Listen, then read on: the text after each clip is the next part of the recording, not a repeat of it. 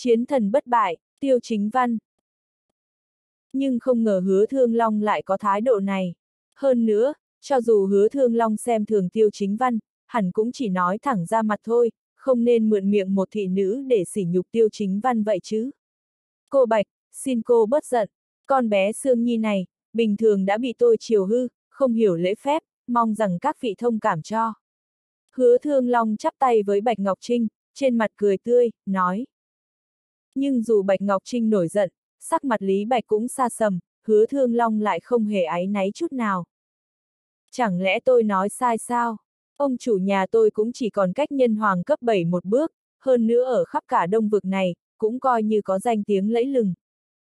Mà dõi mắt toàn bộ đông vực, người tài giỏi nhiều vô số kể, thế lực khắp nơi có thế lực nào không có nhân tài. Đây đều là thứ thế tục không thể nào theo kịp, có lẽ anh tiêu không ai sánh bằng ở thế tục, nhưng ở vùng ngoài lãnh thổ thì khó nói lắm. Cũng như các cuộc thi ở thời đại của chúng tôi, đoạt được thứ hạng ở kỳ thi hương nhưng sau đó còn có kỳ thi huyền, thi thử, thi phú nữa. Cho dù đứng đầu ở kỳ thi hương chẳng qua chỉ là hạng nhất của đám tép diêu mà thôi. Chả là cái thá gì cả. Nếu như đặt trong một tỉnh thì càng bị chìm trong biển người, bé nhỏ vô danh.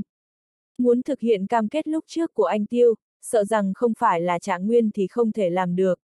Nhưng một người vừa mới thể hiện tài năng ở kỳ thi hương, lại muốn được đề tên trên bảng vàng thì chẳng phải là chuyện cười sao. Nói đến mức này cũng đã hết sức khó nghe, bất kể Lý Bạch hay Bạch Ngọc Trinh cũng mang sắc mặt vô cùng khó coi. Nếu không phải nể mặt tiêu chính văn còn phải lôi kéo hứa thương long, cho dù nơi này là núi Long Minh, cho dù Sương Nhi này là thị nữ thân cận nhất của hứa thương long, Bạch Ngọc Trinh cũng chắc chắn phải khiến cô ta đổ máu. Hơn nữa, trong cái anh tiêu gọi là điện thần long, chỉ sợ cũng chỉ có một mình anh đạt tới cảnh giới nhân hoàng cấp 5 thôi nhỉ. Trên thế tục, quả thật nhân hoàng cấp 5 là rất tài giỏi, nhưng nơi này là vùng ngoài lãnh thổ. Huống chi anh tiêu vừa mới tới vùng ngoài lãnh thổ, đã ra tay với bát hiền từ, còn giết Chu Hy. Cho dù thực lực Chu Hy không đủ, nhưng thế lực sau lưng ông ta, mới là chỗ dựa chân chính của ông ta. Toàn bộ đông vực, không biết bao nhiêu thế gia, bao nhiêu tông môn, cũng thể sống chết với nhà họ khổng. Mà bát hiền từ lại là thế lực một tay nhà họ khổng bồi dưỡng lên, chẳng lẽ anh Tiêu chưa từng nghĩ đến việc sau khi giết Chu Hy sẽ có hậu quả gì sao? Xa không đề cập tới, tôi nghĩ đến mấy vị đang ở đây, dù hận Chu Hy tận xương tủy cũng tuyệt đối không dám ra tay chém chết ông ta nhỉ. Chẳng lẽ anh Tiêu chỉ để ý đến chuyện giải quyết ân oán nhất thời, bất chấp hậu quả sao? Nếu anh Tiêu là người như vậy, hừ, Sương Nhi cười nhạt nói tiếp, có thể cung cấp võ đài vô tận cho ông chủ nhà tôi hay không tôi không biết, sợ rằng không lâu sau, anh Tiêu sẽ bỏ mạng giữa đất trời. Sương Nhi thao thao bất tuyệt, hết câu này đến câu khác chê bai Tiêu chính văn, mà hứa thương long lại vẫn cúi đầu thưởng thức trà, thỉnh thoảng nâng mí mắt lên nhìn Tiêu chính văn, từ đầu đến cuối không hề có ý ngắt lời Sương Nhi. Rất rõ ràng, những lời này căn bản không phải một thị nữ có thể nói ra được, mà là trước đó hứa thương long đã tự mình dặn dò thị nữ này nói ra. Tôi muốn hỏi anh Tiêu, anh có biết thế lực nhà họ khổng lớn mạnh thế nào không? Chẳng lẽ anh tưởng rằng chỉ dựa vào một mình viên thiên canh là có thể đứng ngang hàng chống lại nhà họ khổng? Tiền bối viên từng được gọi là đạo thuật chi tôn không phải là giả, nhưng cũng chỉ có thể nhếch nhác đánh được một trận cùng cao thủ đế cảnh, cao thủ đế cảnh dưới quyền nhà họ khổng nhiều vô số kể, anh tiêu lấy đâu ra tự tin có thể dựa vào sức lực một người mà khiêu chiến nhà họ khổng. Chuyện này chẳng khác gì châu chấu đá xe. Lời Sương Nhi vừa nói ra khiến xung quanh lập tức rơi vào trầm lặng. Mặt tiêu chính văn không đổi sắc hấp một ngụm trà, sau đó nhẹ nhàng đặt ly trà xuống bàn, lạnh nhạt nói, trà này tuy trong suốt, nhưng lại nhạt như vô vị. Nói xong, anh đứng dậy, xoay người rời đi. Đây là đang dùng trà để ám chỉ mắt nhìn của hứa thương long thiền cận, chỉ nhìn mọi việc qua bề ngoài, căn bản không thấy được bản chất của sự vật. Chính vì không cùng ý chí không thể cùng đường, Tiêu Chính Văn cũng lười giải thích lại quá nhiều với người như vậy, còn việc hứa Thương Long có gia nhập Điện Thần Long hay không, Tiêu Chính Văn căn bản không để tâm. Thấy Tiêu Chính Văn xoay người rời đi, hai người Bạch Ngọc Trinh và Lý Bạch cũng vội vàng đuổi theo. Anh Tiêu, tuy ánh mắt hứa Thương Long thiển cận, nhưng lôi kéo người này gia nhập là chuyện cực kỳ quan trọng đối với Điện Thần Long. Mặt Lý Bạch đỏ bừng, nhỏ giọng khuyên can. Thấy ba người trước sau rời đi, hứa thương long cười nhạt nói, các vị đi thong thả, không tiễn. Thật ra lúc viên thiên canh trở lại, hứa thương long đã chú ý tới tiêu chính văn trước tiên. Một người có thể khiến viên thiên canh cam tâm quy phục, tất nhiên có chỗ xuất sắc hơn người. Ông ta cũng đã từng muốn móc nối quan hệ với tiêu chính văn, nhưng sau khi tiêu chính văn ra tay chém chết Chu Hy, hứa thương long đã hoàn toàn thay đổi ý định. Vùng ngoài lãnh thổ không ưa nhà họ khổng, thậm chí chuyện kẻ đối địch với nhà họ khổng nhiều vô số kể không phải giả, nhưng trong lòng mọi người cũng biết rõ, thế lực nhà họ khổng khổng lồ, cây lớn dễ sâu. Có thể phản, có thể chống đối, thậm chí có thể ra tay, nhưng tuyệt đối không thể giết người nhà họ khổng. Nhất là bát hiền từ, đó là mặt mũi nhà họ khổng, giết người của bát hiền từ chẳng khác nào hung hăng tát cho nhà họ khổng một bạt tai. Chỉ dựa vào một viên thiên canh mà đã muốn sống mái với nhà họ khổng, đây quả thực là suy nghĩ hão huyền. Nhưng hứa thương long lại không muốn thông qua miệng mình, đắc tội với tiêu chính văn, vì vậy mới đạo diễn màn kịch vừa rồi. Anh Tiêu, lời Lý Bạch nói không sai, hứa thương long, không cần phải nói nữa, đã không hợp ý thì không thể cùng đi, tiêu chính văn không thèm để ý, xua tay cắt ngang lời của Bạch Ngọc Trinh. Anh Tiêu, ý của anh là, Bạch Ngọc Trinh cũng bị lời nói của tiêu chính văn làm cho sửng sốt. Hứa Thương Long là ai? Ở Đông Vực mà nói, đó là một sự tồn tại có sức ảnh hưởng tập trung cực lớn, nhất là trong giới người tu luyện, thành danh Hứa Thương Long rất lẫy lừng. Người như vậy mà không chiêu mộ thì sao có thể khuếch đại thanh thế của Điện Thần Long? Điện Thần Long quả thật cần người mới, nhưng cũng không là bọn chuột nhất kiểu gì cũng có tư cách gia nhập. Thế tục có một câu nói rất hay, anh coi thường tôi hôm nay thì sẽ không với tới tôi ngày sau. Người thật sự bỏ qua cơ hội không phải điện thần long tôi, mà là hứa thương long. Sau này tự nhiên ông ta sẽ biết, mình đã bỏ lỡ điều gì. Tiêu chính văn thản nhiên nói. Không phải anh giận dỗi, cũng không phải tiêu chính văn tự cao tự đại, mà là anh có sức mạnh như vậy. Trông thấy bóng dáng đám người tiêu chính văn càng lúc càng xa, Sương Nhi nghiêng đầu nhìn hứa thương long nói, ông chủ, chúng ta như vậy, liệu có đắc tội cả nhà họ bạch hay không? Những lời vừa nãy đúng là hứa thương long đã dạy cô ta nói từ trước, nhưng đắc tội tiêu chính văn cô ta không coi là gì, nhưng đắc tội Bạch Ngọc Trinh lại là một chuyện khác. Thế lực của nhà họ Bạch ở vùng ngoài lãnh thổ cực lớn, còn có quan hệ lằng nhằng dây mơ dễ má với nhà họ Doanh, cũng là một thế lực không thể khinh thường. Không cần để ý, nhà họ Bạch tuyệt đối sẽ không trở mặt với chúng ta vì tiêu chính văn. Tiêu chính văn đến nay vẫn không hiểu rõ, tại sao hắn đắc tội với nhà họ khổng nhiều lần, lại có thể bình an vô sự. Đây tuyệt đối không phải nhờ thực lực của cậu ta mà là kết quả của việc mấy đại hoàng tộc trong đế vương các âm thầm đọ sức với thiên đạo minh ước. Bất kể thiên đạo minh ước hay là nhà họ khổng, chỉ cần phái cao thủ chém chết tiêu chính văn thì nhà họ doanh, nhà họ chu, nhà họ võ cũng có cớ phái cao thủ diệt khổng khâu bất cứ lúc nào. Rất hiển nhiên, cậu ta có thể sống đến hôm nay là kết quả của việc các phe cân nhắc thiệt hơn. Mà chính cậu ta lại hồn nhiên không biết. Nói đến đây, hứa thương long tự rót một ly trà, vừa uống trà, vừa cười nhạt nói, cậu ta tuyệt đối không nên dẫn người đến làm chủ đế khư. Như thế, ngay cả đế vương các, cậu ta cũng đã đắc tội rồi, sau này, đường cậu ta đi sẽ càng lúc càng hẹp, sau khi mất đi sự che chở của đế vương các, cậu ta còn có thể hoành hành không kiêng rẻ như vậy sao? Cậu ta cũng quá coi thường đông vực, quá khinh thường nhà họ khổng rồi, bởi vì không ra khỏi giếng, thì bầu trời vĩnh viễn chỉ bằng cái vung, hứa thương long đắc ý mở miệng nói. Mấy người tiêu chính văn vừa mới rời khỏi núi Long Minh, bên trong bát hiền từ đã truyền tới những tiếng cười lớn. Dù gì trên con đường này, mấy người tần cối lúc nào cũng quan sát nhất cử nhất động của tiêu chính văn, ngay cả mấy lời của Sương Nhi cũng lọt vào tai của mấy người bát hiền từ không sót một chữ.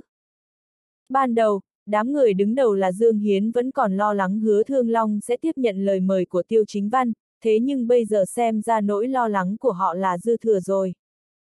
Những lời của Sương Nhi không chỉ nói ra tiếng lòng của hứa Thương Long mà còn chỉ rõ cái nhìn thật sự của mấy người ở bát hiền từ dành cho Tiêu Chính Văn. Ngay cả đám đệ tử chuyên làm việc vặt cũng cảm thấy Tiêu Chính Văn không biết tự lượng sức, công khai đối đầu với nhà họ khổng chính là đang tự tìm đường chết. Dù gì người mà tiêu chính văn có thể chiêu mộ được bây giờ cũng chỉ có một mình viên thiên canh mà thôi, mà bên trong bát hiền từ, ngoại trừ tần cối ra thì quả thực có một cao thủ đế cảnh đang chấn thủ. Chỉ có điều, người này là do nhà họ khổng cử tới bát hiền từ để canh giữ giúp cho bọn họ, không có chỉ thị của nhà họ khổng thì tuyệt đối không thể ra tay giết tiêu chính văn chỉ vì cái chết của Chu Hy.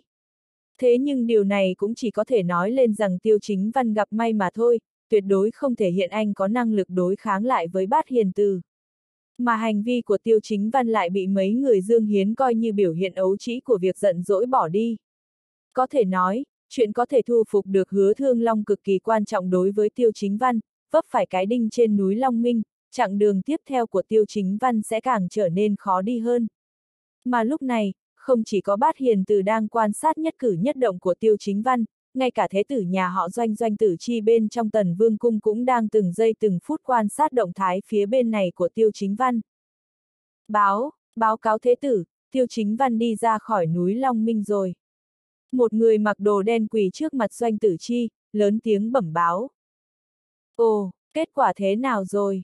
Mau nói, doanh tử chi nghe vậy thì đứng dậy rời khỏi chỗ ngồi, vội vàng nhìn người mặc đồ đen kia và hỏi. Hứa thương long từ chối thẳng mặt tiêu chính văn, hơn nữa còn âm thầm chỉ thị thị nữ ăn nói lỗ mãng với tiêu chính văn, cuối cùng tiêu chính văn phải rời đi trong bực dọc. Người mặc đồ đen thuật lại. Ôi tiền bối trương, chuyện này, doanh tử chi nhíu chặt chân mày nhìn về phía trương nghi. Trương nghi không nhanh không chậm đưa một miếng thịt sông khói vào trong miệng, rồi lại rửa rửa tay vào thau nước đặt bên cạnh, vừa nhai thịt vừa cười nói, thế tử cho rằng tiêu chính văn đã bỏ lỡ mất cơ hội sao? Nếu không thì, doanh tử chi trầm giọng hỏi. Hứa thương long tầm nhìn hạn hẹp, ông ta tự cho rằng bản thân đã đưa ra lựa chọn đúng đắn, thực ra không phải như vậy, ông ta chỉ bỏ lỡ cơ hội duy nhất để một bước lên trời trong cuộc đời này mà thôi, Trương Nghi cực kỳ khinh thường cười nói. Tiền bối Trương, sao ông lại nói như vậy, doanh tử chi nhìn về phía Trương Nghi với vẻ không hiểu. Từ sau khi linh khí trở về thế tục, đường qua lại vùng ngoài lãnh thổ được mở ra, tiêu chính văn đã từng quy phục ai chưa? Nhà họ khổng, nhà họ ngụy, nhà họ lương và cả năm đại danh sơn, lần lượt có bao nhiêu người đã chết trong tay tiêu chính văn. Thế tử cho rằng tại sao cho tới bây giờ cậu ta vẫn ung dung tự tại. Lẽ nào thật sự giữa đế vương các và thiên đạo minh ước đang kìm hãm lẫn nhau sao? Theo tôi thấy thì không hẳn vậy. Nếu như bên trong hàng ngũ lãnh đạo cấp cao của thiên đạo minh ước không có ai nói đỡ cho tiêu chính văn, không một ai xem trọng tương lai của cậu ta, tôi có thể bảo đảm lúc cậu ta đánh ngụy Nguyên Cát bị thương thì đại nạn đã ập xuống đầu rồi. Giết cậu ta, đối với thiên đạo minh ước mà nói chỉ là một chuyện quá nhỏ, vậy nên tiêu chính văn không chỉ được đế vương các xem trọng mà bên trong thiên đạo minh ước cũng có số lượng lớn lãnh đạo cấp cao xem trọng cậu ta. Hoặc là nói do muốn có được bí mật trên người cậu ta. Thế nhưng bất luận xuất phát từ nguyên nhân nào, tiền đồ tương lai của loại người như vậy là không có giới hạn. Vậy nên doanh thì chúng ta tuyệt đối không được bắt trước y chang. Hy vọng thế tử suy nghĩ cho kỹ càng rồi mới hành động. Trương Nghi vừa thốt ra mấy lời này, doanh tử chi mới như bừng tỉnh ngộ. Lúc này, nhà họ khổng và nhà họ tư mã cũng đang âm thầm liên lạc, giống như những gì mà hứa thương long suy đoán, giết chết Chu Hy quả thực đã làm tổn hại nghiêm trọng tới lợi ích của nhà họ khổng, thậm chí khiến cho chiêu bài số một bát hiền từ của nhà họ khổng bị sỉ nhục. Chuyện giống như vậy, dù thế nào thì nhà họ khổng cũng sẽ không tha cho tiêu chính văn. Thế nhưng, chỉ dựa vào thế lực ở đông vực của nhà họ khổng bọn họ thì căn bản chẳng thể làm gì được viên thiên canh, vậy nên họ mới chủ động làm hòa với nhà họ tư mã. Lúc này, tư mã viêm đang uy phong lẫm liệt ngồi trên thất tinh bảo tọa, nhìn bức thư mà nhà họ khổng đưa đến trong tay, trên mặt dần lộ ra một nụ cười. Gia chủ, trên thư của nhà họ khổng viết gì thế, một chủ quản của nhà họ khổng quan tâm hỏi han. Nhà họ khổng muốn liên kết với nhà họ tư mã chúng ta cùng loại trừ tiêu chính văn và viên thiên canh. Nghe thấy lời này, đám người nhà họ tư mã không khỏi đưa mắt nhìn nhau. Tiêu chính văn chỉ là một tiểu bối trong thế tục, thế nhưng viên thiên canh thì không, ông ta là đạo thuật chi tôn đó. Thực lực có thể phân cao thấp với cao thủ đế cảnh, dù là cao thủ đế cảnh duy nhất chấn giữ ở nhà họ tư mã, một mình đối diện với viên thiên canh cũng chẳng có cơ hội chiến thắng. Gia chủ, chuyện này, chỉ dựa vào chúng ta và nhà họ khổng, đối phó với viên thiên canh dường như chẳng thấm vào đâu. Trừ phi ông, nói tới đây, chủ quản của nhà họ tư mã vội vàng thu lại nửa vế câu sau. Tư mã viêm đường đường là đế vương một đời, thực lực sâu không thể lường, nếu như đích thân ra tay với nhân vật nhỏ bé như tiêu chính văn thì rõ ràng là đang tát lên mặt nhà họ tư mã. Tư mã huy, ông có nắm chắc phần thắng với viên thiên canh kia không? tư mã viêm hướng ánh mắt về phía một người đàn ông trung niên bên trên đại điện. Gia chủ, nếu là đấu đơn thì thuộc hạ e rằng khó có thể phân cao thấp với viên thiên canh, không chỉ có tôi, e rằng cao thủ đế cảnh của nhà họ ajin Zoro và cả nhà họ Triệu cũng chưa chắc đã là đối thủ của ông ta. Tư Mã Huy nói với Tư Mã Viêm không chút che đậy. Đạo thuật chi tôn không phải là người mà tùy tiện một cao thủ đế cảnh nào đấy có thể khiêu chiến được. Dù là Tư Mã Huy hay là Azin Duli thì chẳng qua cũng chỉ ở cảnh giới đế cảnh cấp 1, đối đầu với đạo thuật chi tôn, căn bản không có bất cứ ưu thế nào. Ngược lại về phương diện trận pháp thì còn ở tình thế bất lợi.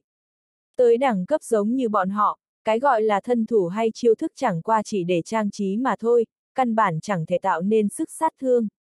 Ồ, ngay cả ông cũng đánh giá cao ông ta như vậy à, từ mã viêm hết sức kinh ngạc. Đạo thuật chi tôn tinh thông sự huyền ảo của trận pháp, mặc dù người này không bằng được Gia Cát Khổng Minh, thế nhưng ông ta tuyệt đối không phải là người mà chúng tôi có thể địch lại được. Nếu như mấy người chúng tôi liên thủ lại thì có thể còn có mấy phần cơ hội thắng. Tư Mã Huy nói với vẻ khẳng định chắc nịch. Audio điện tử võ tấn bền. Gặp kẻ địch mạnh thì dùng mưu kế để giành chiến thắng, gặp kẻ địch yếu thì phải linh hoạt mà giành thắng lợi, Tư Mã Viêm ôn tồn nói. Nếu như Điện Thần Long chỉ có một cao thủ là viên thiên canh, vậy thì chỉ cần cầm chân viên thiên canh, khiến cho ông ta không còn thời gian rảnh để quan tâm chuyện khác, chỉ dựa vào tiêu chính văn thì làm sao bảo vệ được cả Điện Thần Long.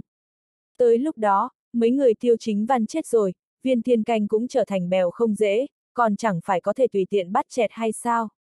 Gia chủ anh Minh Huy Vũ, Tư Mã Huy lập tức hiểu ý, khom lưng vái lại Tư Mã Viêm.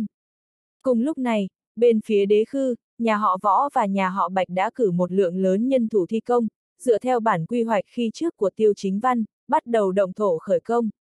Dựa theo quy hoạch của Tiêu Chính Văn, đế khư sau này sẽ trở thành đại bản doanh tại vùng ngoài lãnh thổ của Điện Thần Long và Thế Tục, vậy nên bộ phận trên núi sẽ theo lối kiến trúc cổ xưa. Đình đài lầu gác, thính hương thủy tạ đều có đủ cả. Mà bộ phận dưới núi lại lấy thành thị trong thế tục làm tiêu chuẩn, bắt đầu xây dựng, thậm chí còn vạch ra không ít khu dân cư. Vì thế, nhà họ võ đã đặc biệt triệu tập nhà thiết kế và kiến trúc sư lớn trong thế tục để động thổ thi công trong khoảng thời gian rất ngắn. Chưa tới ba ngày, những tòa đình đài lầu gác, cao ốc cao tầng đã lần lượt được dựng lên. Thiết kế bên này hừng hực khí thế, mà một bên khác, mấy thế gia đứng đầu là nhà họ khổng lại đang chờ xem trò cười của tiêu chính văn. E rằng ngày mà đế khư xây dựng xong cũng chính là lúc tiêu chính văn bị tiêu diệt. Lúc này, không ít người đã âm thầm suy đoán hành động tiếp theo của nhà họ khổng. Mà mấy người tiêu chính văn sau khi rời khỏi núi Long Minh cũng tới Điện Vũ Vương. Điện chủ của Điện Vũ Vương chính là bạn cũ Lục Tiêu Giao của Lý Bạch. Lúc này, Lục Tiêu Giao đang ngồi chính giữa bên trong đại điện, mà bên cạnh ông ta, cả đám đệ tử môn sinh lần lượt ngồi xung quanh. Sư phụ, mấy ngày trước Trần Huy Tổ có gửi giấy mời tới, mời sư phụ tới nhà thờ của nhà họ Trần, hôm đó sư phụ đang bế quan nên đệ tử không dám làm phiền người, đây là giấy mời, mời người xem ạ. Đệ tử đứng đầu cầm giấy mời đưa tới trước mặt Lục Tiêu Giao. Lục Tiêu Giao nhận lấy giấy mời, liếc nhìn vài lần, tiện tay vuốt râu, ngửa mặt cười lớn. Sư phụ, tại sao người lại cười ạ? À? Cả đám đệ tử đồng loạt nhìn về phía Lục Tiêu Giao với vẻ không hiểu. Ồ, Lục Huy Tổ vẫn canh cánh trong lòng chuyện năm xưa. Năm đó, ta và Gia Cát Tín cùng hẹn ông ta chiến đấu trên sườn núi Thiên Đô. Ông ta thắng được Gia Cát Tín nửa chiêu thì lại bại bởi một chiêu của ta. Bây giờ nghe nói ông ta sắp sửa nâng cao cảnh giới, xem ra là muốn rửa mối nhục năm xưa. Đám đệ tử nghe vậy thì mới hiểu ra, hóa ra giữa Lục Tiêu Giao và Trần Huy Tổ còn có mối quan hệ như vậy. Đúng vào lúc này, một đệ tử giữ cửa bước nhanh vào trong đại điện, sau khi thấy Lục Tiêu Giao thì quỳ vái rồi nói, sư phụ, bên ngoài điện có người xin được vào gặp. Ai, Tiêu Chính Văn, nghe thấy cái tên Tiêu Chính Văn, nụ cười trên mặt Lục Tiêu Giao lập tức trở nên đông cứng, nói với đệ tử bên cạnh bằng vẻ mặt nghiêm trọng, vua Bắc Lương Tiêu Chính Văn của thế tục ư. Không biết chúng ta nên tiếp đãi người này thế nào đây? Đại đệ tử của Lục Tiêu Giao nghe thế bèn đứng lên, như có điều suy nghĩ nói, người này dạo gần đây khá có tiếng. Theo đệ tử biết, không lâu trước đó hắn mới giết Chu Hy của thất hiền các, chuyện này gây chấn động cả đông vực. Nhưng vẫn chưa là gì, hắn còn dẫn điện thần long trong thế tục vào ngoài lãnh thổ, công khai chiếm chỗ ở núi Đế Khư, lập ra thế lực ở ngoài lãnh thổ. Một đệ tử bên cạnh khác cũng đứng lên nói, đúng thế, khẩu khí của người này lớn lối lắm, hơn nữa hình như trước đây còn đến núi Long Minh mời hứa thương Long, nhưng bị hứa thương Long từ chối thẳng mặt. Lúc này đến gặp sư phụ chắc chắn là muốn mời sư phụ gia nhập vào điện thần Long, đệ tử đó nhíu mày nói. Lục tiêu giao khẽ gật đầu, nói với các đệ tử, ừ, ý các con thế nào? Sư phụ, người này cực kỳ không đơn giản, theo đệ tử được biết ngay cả viên thiên canh đã biến mất hàng ngàn năm cũng đều cam lòng đi theo người này, có cả Lý Bạch và Thượng quan Uyển Nhi cũng gia nhập vào Điện Thần Long. Ngoài ra, nghe nói ba long tôn lớn của Điện Thần Long đều là thiên tài có tài năng rất cao, chưa đến 30 tuổi đã đạt đến cảnh giới nhân hoàng. Thế nên tuyệt đối không thể xem thường Điện Thần Long, huống gì một mình viên thiên canh cũng có thể đánh ngang tay với cao thủ đế cảnh, thế nên vẫn phải cẩn thận với tiêu chính văn. Một đệ tử cau chặt mày phân tích. Nghe thế, đại đệ tử của lục tiêu giao vội nói, đế khư là vùng đất quý mà nhà họ khổng và đế vương các tranh giành hàng ngàn năm, tiêu chính văn muốn đứng vững ở đó e là không dễ chút nào. Hơn nữa mấy ngàn năm nay, ai dám động vào người của bát hiền từ, chỉ riêng cái chết của Chu Hy cũng đủ để khiến bát hiền từ gây khó dễ với hắn rồi. Nhưng chúng ta cũng phải công nhận rằng tiêu chính văn có bối cảnh thâm sâu, chỉ là một người trong thế tục thôi mà lại dám gây náo loạn ở ngoài lãnh thổ, còn có thể bảo vệ được chính mình, quả thật là chỉ điều khác biệt. Nghe đến đây, lục tiêu giao đã hiểu được 7-8 phần, hiện giờ tiêu chính văn là thế lực mới bình thường ở ngoài lãnh thổ, nhưng thay vì làm theo cách của các thế lực mới khác thì Điện Thần Long vừa mới đến ngoài lãnh thổ đã bắt đầu hình thành quy mô. Hơn nữa còn công khai gây thù với bát hiền từ, chỉ riêng điều này thôi tiêu chính văn cũng đã là một người đáng được xem trọng. Hơn nữa lai lịch của bát hiền từ không đơn giản, nói nó là phân nhánh của nhà họ khổng cũng đúng, nhưng thật ra mặc dù nói không thể sai khiến một phương trời ở ngoài lãnh thổ nhưng cũng không phải là tổ chức mà ai cũng dám đắc tội. Có thể nói mấy ngàn năm nay bát hiền từ vẫn luôn đại diện cho nhà họ khổng, càng đại diện cho thiên đạo minh ước đằng sau nhà họ khổng, cho dù là có đế vương các tồn tại cũng chưa từng giết người của bát hiền từ Nhưng lần này Chu Hy bị tiêu chính văn giết ngay trước mặt mọi người, chuyện này chắc chắn sẽ gây ra một trận hỗn loạn ở ngoài lãnh thổ. Thật ra trước đây tiêu chính văn đã có mối thù sâu đậm với nhà họ khổng ở thế tục, gần như cắt đứt toàn bộ thế lực trong thế tục của nhà họ khổng. Thế nên bất kể tiêu chính văn có giết Chu Hy hay không thì ân oán giữa hắn và nhà họ khổng cũng không ngừng nghỉ. Một đệ tử khác ở bên cạnh bỗng nói. Mặc dù đệ tử của lục tiêu giao có mấy chục người nhưng mọi chuyện xảy ra cho dù là thế tục hay ngoài lãnh thổ đều không thể qua được tai mắt của mọi người. Hơn nữa giữa nhà họ khổng và bát hiền tử vốn dĩ là cùng một nhánh, ngộ nhỡ hai bên chém giết, nhà họ khổng cũng sẽ không trơ mắt đứng nhìn. Tôi ngược lại muốn xem thử rốt cuộc là điện thần long lớn mạnh hay là bát hiền tử tài giỏi hơn. Người đâu, lục tiêu giao vừa dứt lời, một đệ tử ở góc điện vội đứng lên nói, sư phụ.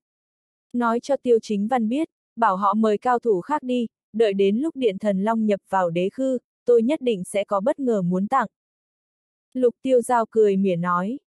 Trong lời nói của ông ta đã có ý đe dọa, bất ngờ mà ông ta nói chẳng qua chỉ đang gây khó dễ với tiêu chính văn. Lục tiêu giao biết rõ, đắc tội với người nhà họ khổng sẽ không có kết quả tốt đẹp, năm đó ông ta gây thù với nhà họ khổng cũng chỉ vì một phút nhất thời. Cũng chỉ vì thế mà mấy năm nay ông ta chỉ có thể yên phận một chỗ, thậm chí không dám chiêu mời đệ tử, những ngày tháng này khiến ông ta cảm thấy buồn bực cực độ. Nhưng vì danh tiếng của mình, ông ta lại không thể chủ động cầu hòa với nhà họ khổng. Sự xuất hiện của tiêu chính văn làm ông ta nhìn thấy một tia hy vọng, có lẽ chỉ cần ông ta gây khó với tiêu chính văn vào lúc quan trọng, không chừng nhà họ khổng sẽ rộng lòng với ông ta hơn, từ đó hóa giải bất hòa. Sư phụ, người bạn thân thiết Lý Bạch của sư phụ cũng ở trong đám người này, nếu cứ ngăn họ ở ngoài cửa, e là không nể mặt Lý Bạch, đệ tử đó nhíu mày nói. Thể diện là một thứ rất kỳ diệu, có lúc có thể nể mặt nhưng cũng đôi khi không thể, huống gì khai tông lập phái nào có đơn giản như thế. Hành động này của Lý Bạch chắc chắn sẽ gây họa vào thân, chúng ta có thể cùng chôn với ông ta được sao? Đi đi! Lục tiêu giao lạnh nhạt xua tay với đệ tử đó. Tin tức tiêu chính văn đến gặp lục tiêu giao nhưng bị chặn ngoài cửa nhanh chóng truyền ra khắp cả đông vực. Lục tiêu giao đang cố ý, mục đích là muốn cho nhà họ khổng thấy lòng trung thành của mình với nhà họ khổng. Ha ha ha, tần cối nhìn mấy người tiêu chính văn bị lục tiêu giao đuổi đi không khỏi bật cười lớn tiếng. Hành động của tiêu chính văn như đang lấy lòng mọi người. Trước tiên là bị hứa thương long từ chối thẳng mặt. Sau đó lại bị lục tiêu giao chặn ngoài cửa, hiện giờ tiêu chính văn đã trở thành trò cười của cả đông vực và chủ đề nói chuyện sau bữa cơm. Xem ra chỉ có thế hệ sau của nhà họ Trần Trần Huy Tổ rồi. Nếu ngay cả người này cũng không theo tiêu chính văn thì e là sau này điện thần long, doanh tử chi cao chặt mày lắc đầu. Từ đó có thể thấy tiêu chính văn vẫn quá mạo hiểm, ngay cả trước khi đích thân đến tận cửa thì bảo người đến liên lạc vẫn tốt hơn, như thế không quá mất mặt. Ông ta có đồng ý hay không cũng không có vấn đề gì, hơn nữa mấy người lục tiêu giao có gia nhập vào điện thần long hay không cũng không quan trọng, so với viên thiên canh họ chẳng bằng một con kiến. Thế nên thế tử phải tỉnh táo, không được nghe theo người khác, tiêu chính văn không phải là người đơn giản, Trương Nghi vẫn kiên định, không để tâm nhiều đến mấy tin tức này. Tôi nghe nói lần này tiêu chính văn chỉ phái người đến đưa thư cho Trần Khánh Chi, lẽ nào tiêu chính văn cũng không còn bất kỳ hy vọng nào nữa, doanh tử chi nhíu mày nói. Chưa chắc, thế hệ sau của Trần Khánh Chi làm sao có thể so được với người như lục tiêu giao. Xét về tấm nhìn, không chỉ bỏ lại họ mấy chục con phố, thế tử chỉ cần đợi tin tức là được, Trương Nghi rất có lòng tin vào tiêu chính văn. Nhưng theo tôi biết, thế hệ sau của Trần Khánh Chi không hề tầm thường, một năm trước đã đạt đến cảnh giới nhân hoàng cấp 7, ngay cả lục tiêu giao cũng từ chối thẳng mặt, sao ông ta có thể, doanh tử chi vẫn không để tâm nhiều đến Lý Tiêu Giao và hứa thương long, nhưng lại để ý đến thế hệ sau của Trần Khánh Chi. Áo trắng bất khả chiến bại trong lịch sử không phải là danh bất hư truyền, cả Hoa Quốc cổ xưa, ai mà dám nói cả đời mình chinh chiến chưa từng thất bại. Chỉ có duy nhất một mình Trần Khánh Chi. Đây là thiên tài đến cỡ nào mới làm được. Thế hệ sau của ông ta sẽ tầm thường được sao? Từ khi sinh ra đến nay, Trần Khánh Chi là một nhân vật hệt như thần thoại, mà cuộc đời ông ta là một bộ truyền kỳ kinh điển. Thế hệ sau của ông ta chắc chắn là một thiên tài hiếm có, thậm chí lúc Trần Huy Tổ chưa đạt đến cảnh giới nhân hoàng thì gia chủ nhà họ khổng khổng nhạc đã từng đến mời ông ta. Nhưng lại bị Trần Huy Tổ từ chối, chỉ điều này thôi đủ chứng minh Trần Huy Tổ khác với mọi người. Nếu đổi thành người khác e là đã vui mừng hợp lực với nhà họ khổng rồi, nhưng Trần Huy Tổ lại có thể nhìn xa trông rộng đến thế, chứng tỏ hai người khác không thể so sánh được với ông ta. Lúc này Tiêu Chính Văn đang trên đường về đế khư, vừa đi vừa nói với Lý Bạch, rốt cuộc Trần Huy Tổ là người thế nào. Người này không phải là người có thể nói rõ ràng chỉ với vài ba câu. Mặc dù nhà họ Trần đã suy tàn, không còn huy hoàng như lúc trước, nhưng Trần Huy Tổ lại công khai từ chối lời mời của nhà họ Khổng và giữ quan hệ rất mờ ám với vài thế lực nhỏ. Nói ông ta là trong sạch cao thượng nhưng cũng không phải ai cũng có thể lôi kéo. Tính nguyên tắc của người này khá mạnh, thực lực hẳn là cao nhất trong ba người, mặc dù trước đây từng thua dưới tay lục tiêu giao nhưng đó có chuyện có nguyên nhân. Còn cụ thể thế nào, người ngoài như chúng tôi cũng không rõ, nhưng không thể xem thường Trần Huy Tổ. Tiêu chính văn khẽ gật đầu nói, không ngờ thế hệ sau của Trần Khánh Chi lại có cá tính như thế. Thật ra tính cách của Trần Huy Tổ hơi lầm lì, thế nên chắc có lẽ bức thư của cậu Tiêu đã như muối bỏ biển rồi, Lý Bạch lo lắng nói. Lo lắng của Lý Bạch cũng không phải không có lý, ngay cả Lục Tiêu Giao và Hứa Thương Long cũng quả quyết từ chối lời mời của Tiêu Chính Văn, thậm chí ngay cả mặt mũi Lục Tiêu Giao cũng không gặp được, sao Trần Huy Tổ lại để tâm đến thư của Tiêu Chính Văn được chứ? Anh Tiêu, nếu chúng ta thật sự đặt nền móng ở Đông Vực thì chúng ta cũng phải tham gia Đại hội Vạn Tông của Đông Vực, đó là cơ hội tốt nhất để Điện Thần Long chúng ta mời gọi nhân tài. Nghe vậy, ngay cả Bạch Ngọc Trinh cũng không ngừng gật đầu nói, Lý Bạch nói có lý, mỗi một lần Đại hội Vạn Tông đều sẽ tập trung tất cả nhân tài của toàn bộ Đông Vực. Đối với mới tông môn, thế lực mới khai phá mà nói, đây là một cơ hội lộ diện hiếm có. Giữa tông môn và thế gia ở vùng ngoài lãnh thổ cũng giữ liên lạc nhất định, đại hội vạn tông là cơ hội tuyệt vời để thế lực khắp nơi phô bày thực lực. Mà những anh tài có thiên phú hơn người cũng sẽ mượn lần này đi tìm kiếm đối tượng mình thích để gia nhập. Hơn nữa trong đại hội vạn tông còn cung cấp không ít tài nguyên cho thế lực khắp nơi, nói cách khác, cả đại hội vạn tông chính là một lễ hội lớn để thiên đạo minh ước cùng đế vương các bắt tay nhau nắm trong tay vùng ngoài lãnh thổ. Mà nhiều năm qua như vậy, nhà họ khổng vẫn nằm độc quyền, vì vậy, mới có thể có quyền phát biểu tuyệt đối ở vùng ngoài lãnh thổ. Đại hội Vạn Tông, giống như thi đấu ở Vinh Thành trước kia sao, tiêu chính văn thuận miệng hỏi một câu. Thật ra chuyện này giống như thi tốt nghiệp trong thế tục vậy, không chỉ thế lực khắp nơi bày ra thực lực của mình, kể cả những người trẻ tuổi đồng lứa tự cho mình là siêu phàm cũng sẽ lên đài thể hiện khả năng. Hơn nữa, bất kể thiên đạo minh ước hay đế vương các cũng sẽ cho ra lượng tài nguyên tu luyện lớn, đối với thế gia hay mỗi người, những tài nguyên này đều hết sức khan hiếm. Vì vậy, đã nhiều năm qua, thiên đạo minh ước mới có thể có quyền phát biểu tuyệt đối ở vùng ngoài lãnh thổ, mà nhà họ khổng lại một mình độc quyền, vùng ngoài lãnh thổ mới nói nhà họ khổng hô mưa gọi gió. Bạch Ngọc Trinh hết sức kiên nhẫn giải thích cho Tiêu Chính Văn. Thật ra những chuyện này, không chỉ vài thế gia mấy ngàn năm quen thuộc đã biết rõ trong lòng, mà gần như mọi người ở toàn bộ vùng ngoài lãnh thổ đều biết. Nhưng tất cả mọi người lại không thể không cúi đầu trước thiên đạo minh ước, không thể không quy phục nhà họ khổng vì tài nguyên tu luyện. Chỉ cần có thể có được tài nguyên, là có thể khiến mình nâng lên được một đẳng cấp, ở vùng ngoài lãnh thổ cá lớn nuốt cá bé này, ai không hy vọng thực lực mình mạnh hơn chứ. Mấy người tiêu chính văn vừa trở lại đế khư, người phái đi ra ngoài đưa tin đã chạy về.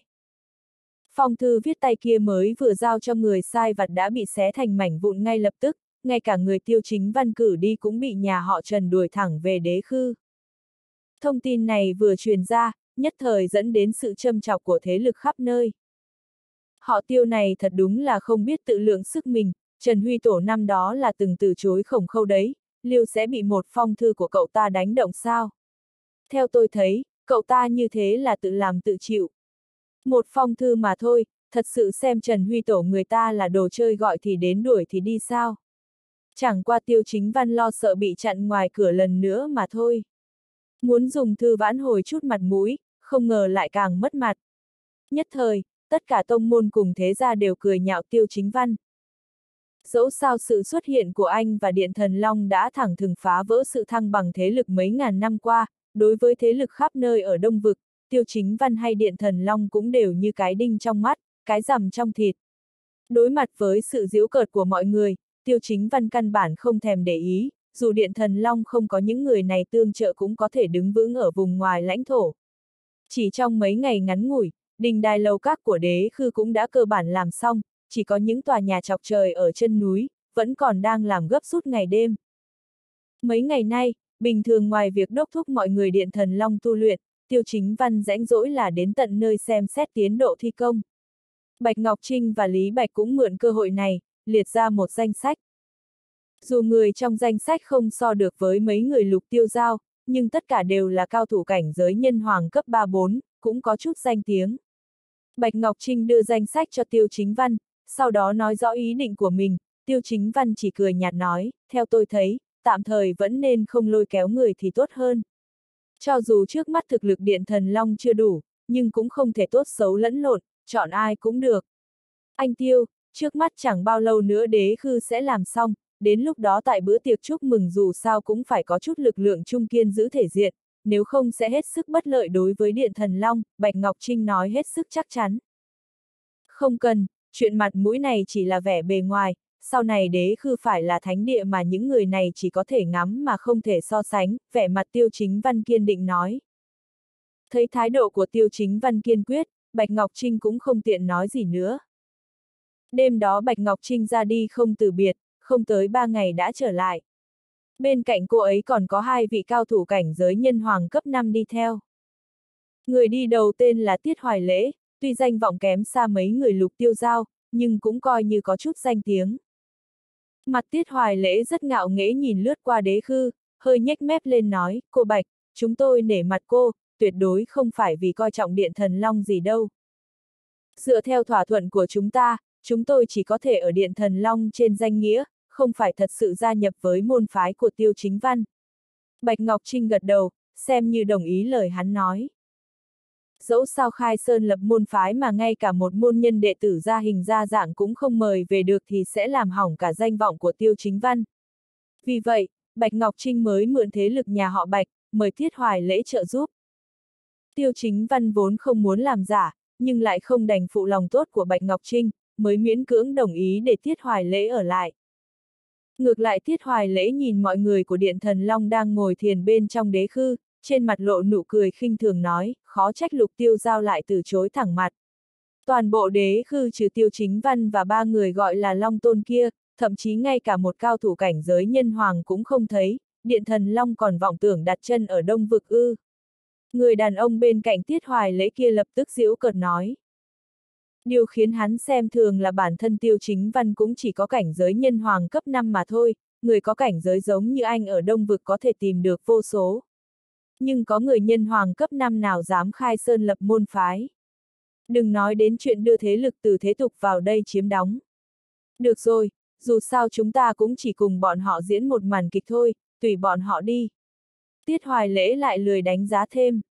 Theo lễ nghi bình thường, làm chủ nhân đế khư, bất kể thế nào tiêu chính văn cũng phải đích thân ra mặt chào đón, nhưng đợi suốt 3 tiếng đồng hồ, ngay cả bóng dáng của tiêu chính văn cũng chẳng thấy đâu. Ngay cả tiết hoài lễ cũng không kiềm chế được tức giận, tìm thẳng đến Bạch Ngọc Trinh nói, cô Bạch, chẳng lẽ anh tiêu không định tự mình chào đón sao? Thấy giọng điệu tiết hoài lễ hơi cáu, hơn nữa trên mặt còn có mấy phần giận dữ, Bạch Ngọc Trinh vội vàng cười nói, hai vị, quả thực không khéo, mấy ngày nay công việc của anh tiêu bận rộn quá. Cho nên xin hai vị lượng thứ cho.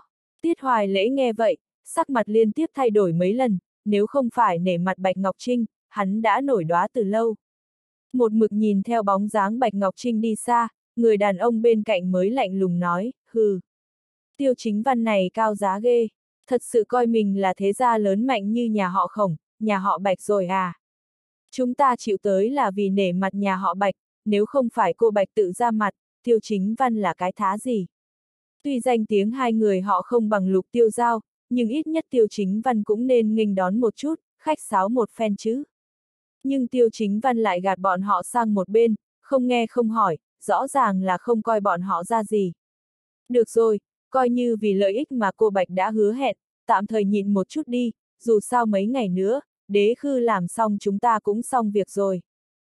Mặc dù ngoài miệng tiết hoài lễ nói như vậy, nhưng trong lòng đã cực kỳ bất mãn với tiêu chính văn.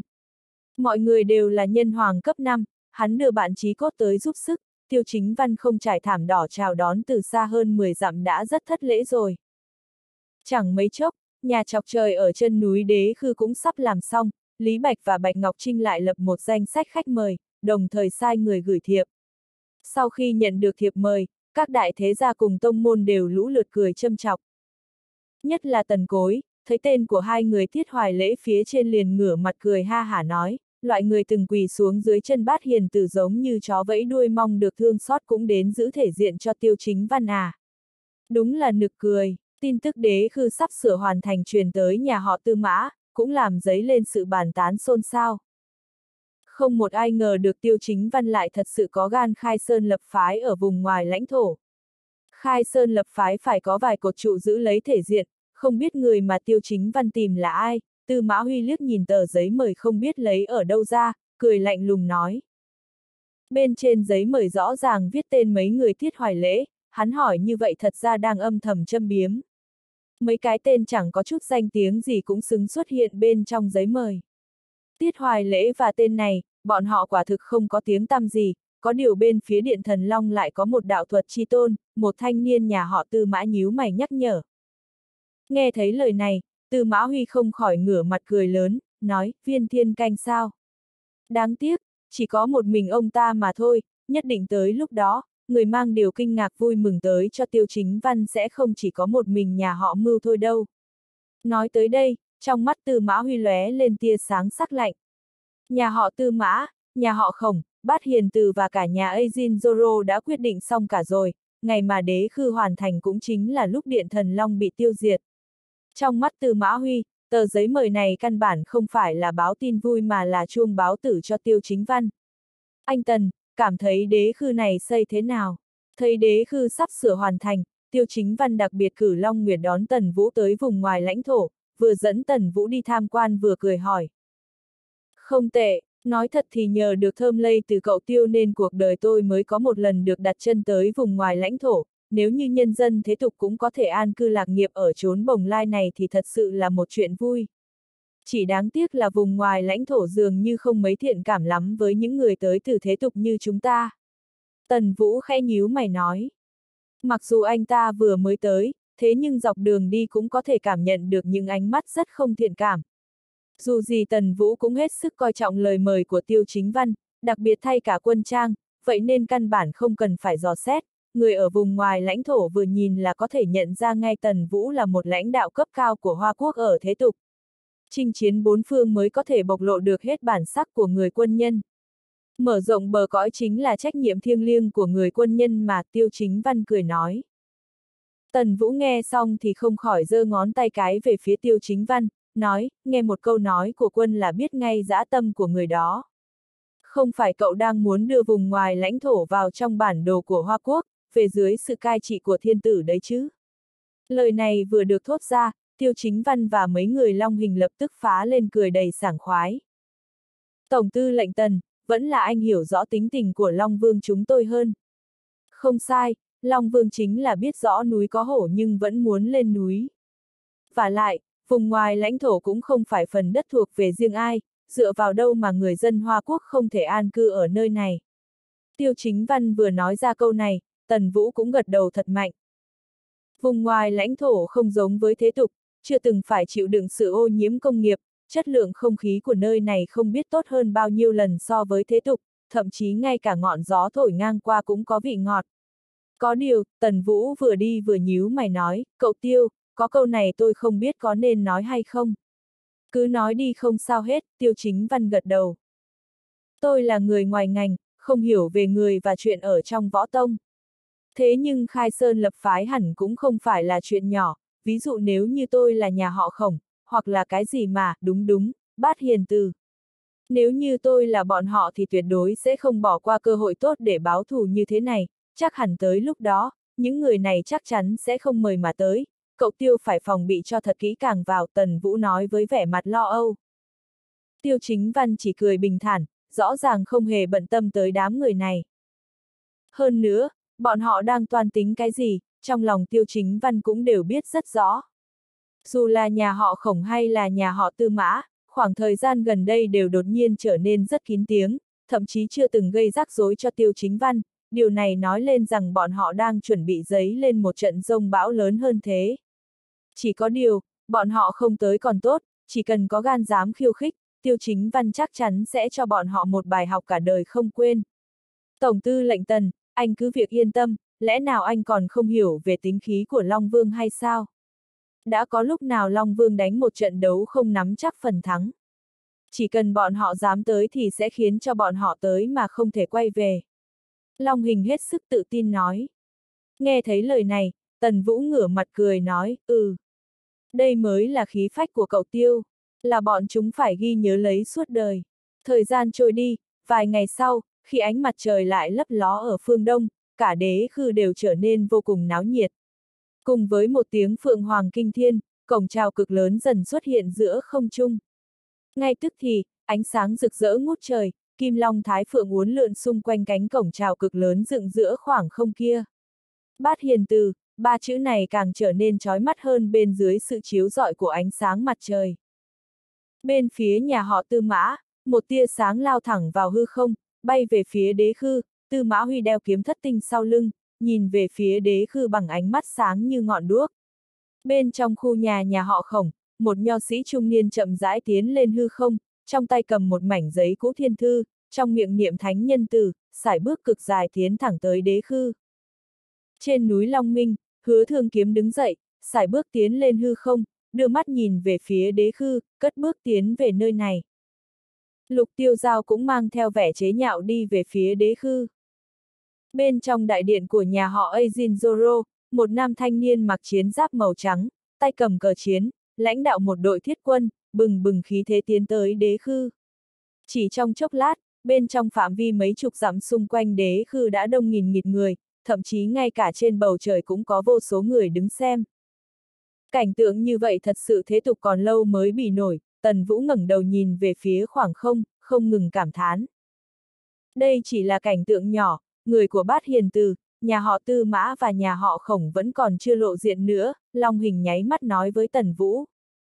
Chỉ là anh ta vừa mới nói dứt lời, trên bầu trời đột nhiên truyền tới một giọng nói hết sức vang dội, võ anh hào của nhà họ võ đặc biệt tới chúc mừng buổi lễ khai sơn long trọng của Điện Thần Long. Vừa dứt lời, đám mây ngũ sắc trên bầu trời cùng lúc mở lối ra, mấy chục hộ vệ nhà họ võ tay giơ cao lá cờ đại đạo bay thẳng về phía bầu trời đế khư. Thế nhưng mọi người vẫn chưa kịp hoàn hồn trở lại, một chiếc xe ngựa cổ xưa đã chậm rãi lái tới, một văn sĩ áo trắng, trong tay phe phẩy chiếc quạt lông, bình thản nói, đại tần. Trương Nghi chúc mừng cậu tiêu. Xoạt, mọi người đồng loạt quay đầu nhìn về phía chiếc xe ngựa cổ xưa kia. Trong số tất cả cao thủ thế gia tiên tần, duy chỉ có Trương Nghi lúc thông báo danh tính là có thể nhắc tới hai chữ đại tần. Từ đó có thể thấy, trọng lượng của ông ta trong mắt doanh thị còn cao hơn cả Bạch Khởi. Ngay cả Bạch Ngọc Trinh cũng không ngờ bản thân vẫn chưa gửi thiệp mới tới cho Trương Nghi mà người này lại không mời mà tới rồi.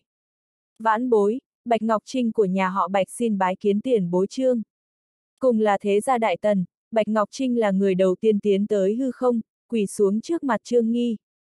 Không sai, chính là quỳ. Cảnh tượng này khiến cho không ít thanh niên phải đồng loạt hít sâu. Bạch Ngọc Trinh có thân phận gì? Trong nhà họ Bạch có thể nói là có tầm ảnh hưởng lớn, thế nhưng lại phải quỳ trước Trương Nghi. Điều này đủ để thấy địa vị của Trương Nghi cao tới độ nào. Thế nhưng đồng thời, ngày hôm nay Trương Nghi lại đặc biệt tới vì tiêu chính văn, sau một hồi liên tưởng, không ít người ngay lập tức đã thu lại sự khinh thường đối với tiêu chính văn và thế tục. Ha ha ha, con gái của nhà họ Bạch quả nhiên xinh đẹp hơn người. Làm gì thì làm đi, Trương Nghi chỉ tới chúc mừng, không cần phải đa lễ như vậy. Giáp vệ đại tần phân bổ khắp bốn phương, đừng quấy nhiễu người ta làm chuyện chính sự. Ánh mắt của Trương Nghi liếc qua gương mặt của đám người đang đứng xem xung quanh, không ít người không tự chủ được mà lùi ra sau một bước. Lần này có trò hay xem rồi, bát hiền từ và nhà họ khổng muốn gây rắc rối cho tiêu chính văn, thế nhưng Trương Nghi rõ ràng là muốn giữ thể diện, nếu như người của đôi bên đánh nhau, phì. Có cho lão già tần cối kia 10 lá gan thì cũng không dám ra tay với ông Trương Nghi, một ngón tay của người ta cũng có thể bóp nát ông ta luôn ý chứ. Chiến quốc tứ kiệt không chỉ là tên gọi thôi đâu, Sủng Quyên, Tôn Tấn, Tô Tần, Trương Nghi, có ai không phải quan tuyệt thiên hạ. Có thể áp chế được Trương Nghi cũng chỉ có mình Bạch Khởi. Ngay cả Lữ Bố cũng phải nể nang vài phần. Ngay tức thì, đám người bàn tán sôi nổi, tất cả đều đang chờ để xem màn kịch hay tiếp theo. Bát Hiền Từ, nhà họ Tư Mã, nhà họ Khổng, nhà họ Ajin Zoro tới chúc mừng. Khi bốn giọng nói như sấm rền này vang lên, tất cả mọi người đều nín thở và đồng loạt nhìn về phía bốn tia sáng rực rỡ. Ngay cả Tần Vũ cũng cảm nhận được uy thế quá đỗi mạnh mẽ này. Cùng với sự góp mặt của bốn thế lực lớn, áp lực lan tràn, tất cả mọi người đều phát ra những tiếng kinh thán. Nếu như không xảy ra chuyện gì ngoài ý muốn, sau trận chiến ngày hôm nay, Tiêu Chính Văn và Điện Thần Long đều sẽ trở thành mây khói lướt qua. Cùng lúc này, một lá long kỳ màu trắng bay về phía đế kha. Tiêu Chính Văn, gia tộc ajin Zoro chính thức khiêu chiến với cậu, cùng với một tiếng hô rất lớn, bên trên lá cờ lớn xuất hiện một chữ chiến màu đỏ cực lớn. Tiêu Chính Văn không chút bận tâm giơ tay đón lấy lá cờ lớn, lạnh lùng nhìn về phía nhà họ Azin Zoro, sau đó cắm lá cờ lớn đó lên trên quảng trường dưới núi. Hy vọng ông sẽ không hối hận. Cây nói của tiêu chính văn ngay lập tức khiến cho đám người nhà họ khổng và nhà họ tư mã phá lên cười rất lớn. Hiện tại bốn nhà bọn họ liên thủ, bốn cao thủ đế cảnh cùng quy tụ, người ta sẽ hối hận ư. Tiêu chính văn cậu lấy cái gì ra để ứng chiến?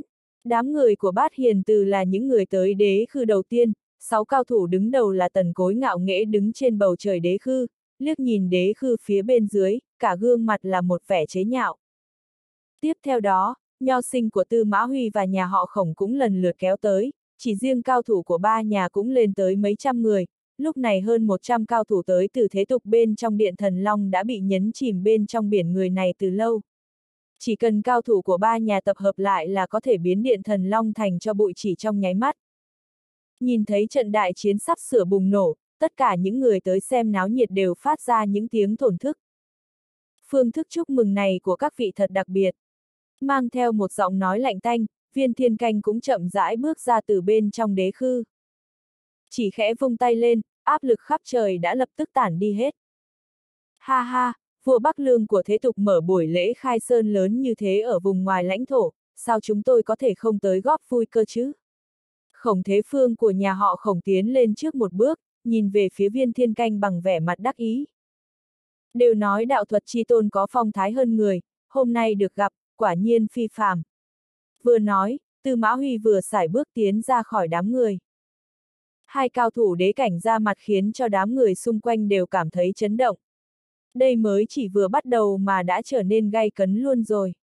E rằng với chiến lực của hai người thì vẫn chưa đủ để uy hiếp đế khư đâu, viên thiên canh ngẩng đầu nhìn ra với vẻ mặt không chút biểu cảm. Nếu như cộng thêm tôi thì sao, vừa nói, tần cối vừa xài bước tiến ra khỏi đám người, sau lưng ông ta còn có một ông lão tóc trắng có khí thế kinh người. Khí tức của tần cối đã đủ kinh người rồi, cao thủ ở cảnh giới nhân hoàng cấp 8 tuyệt đối chẳng thể xem thường. Thế nhưng khí tức của ông lão đứng sau lưng ông ta thì càng sâu không thể lường, cũng là một nhân tài đế cảnh. Ba đấu một, có thể nói viên thiên canh đã không còn cơ hội thắng nữa rồi. Tiền bối viên, thế nào gọi là kẻ thức thời mới là trang hào kiệt, tận dụng lúc mọi thứ còn có thể xoay chuyển được, chọn lại phe vẫn còn kịp đấy, tần cối cười nham hiểm, nói. Viên thiên canh chỉ đáp lại tần cối bằng một nụ cười lạnh lùng, viên thiên canh cũng chẳng buồn bận tâm tới loại người giống như tần cối, dù nói nhiều hơn một chữ với ông ta thì viên thiên canh cũng có cảm giác đó là sự sỉ nhục với chính bản thân. Đúng vào lúc này, một loạt tiếng ngựa hí truyền tới, một người mặc chiến giáp bát kỳ, cưỡi ngựa cầm giáo, cao ngạo đứng giữa hư không. Khí tức khủng bố thuộc về cường giả đế cảnh khắp người ông ta bộc phát ra không chút che đậy. Bốn cường giả đế cảnh đồng thời xuất hiện ở đế khư, mục đích của đối phương không cần nói cũng quá rõ ràng rồi. Đây đâu phải tới để chúc mừng, rõ ràng là đến để tính sổ với tiêu chính văn. Hơn nữa thế lực bốn phương này, có phương nào là không có mối thủ máu rất sâu với tiêu chính văn. Lúc này, ngay cả những thế gia và tông môn coi trọng tiêu chính văn khi trước cũng đồng loạt cảm thấy đáng tiếc thay cho anh.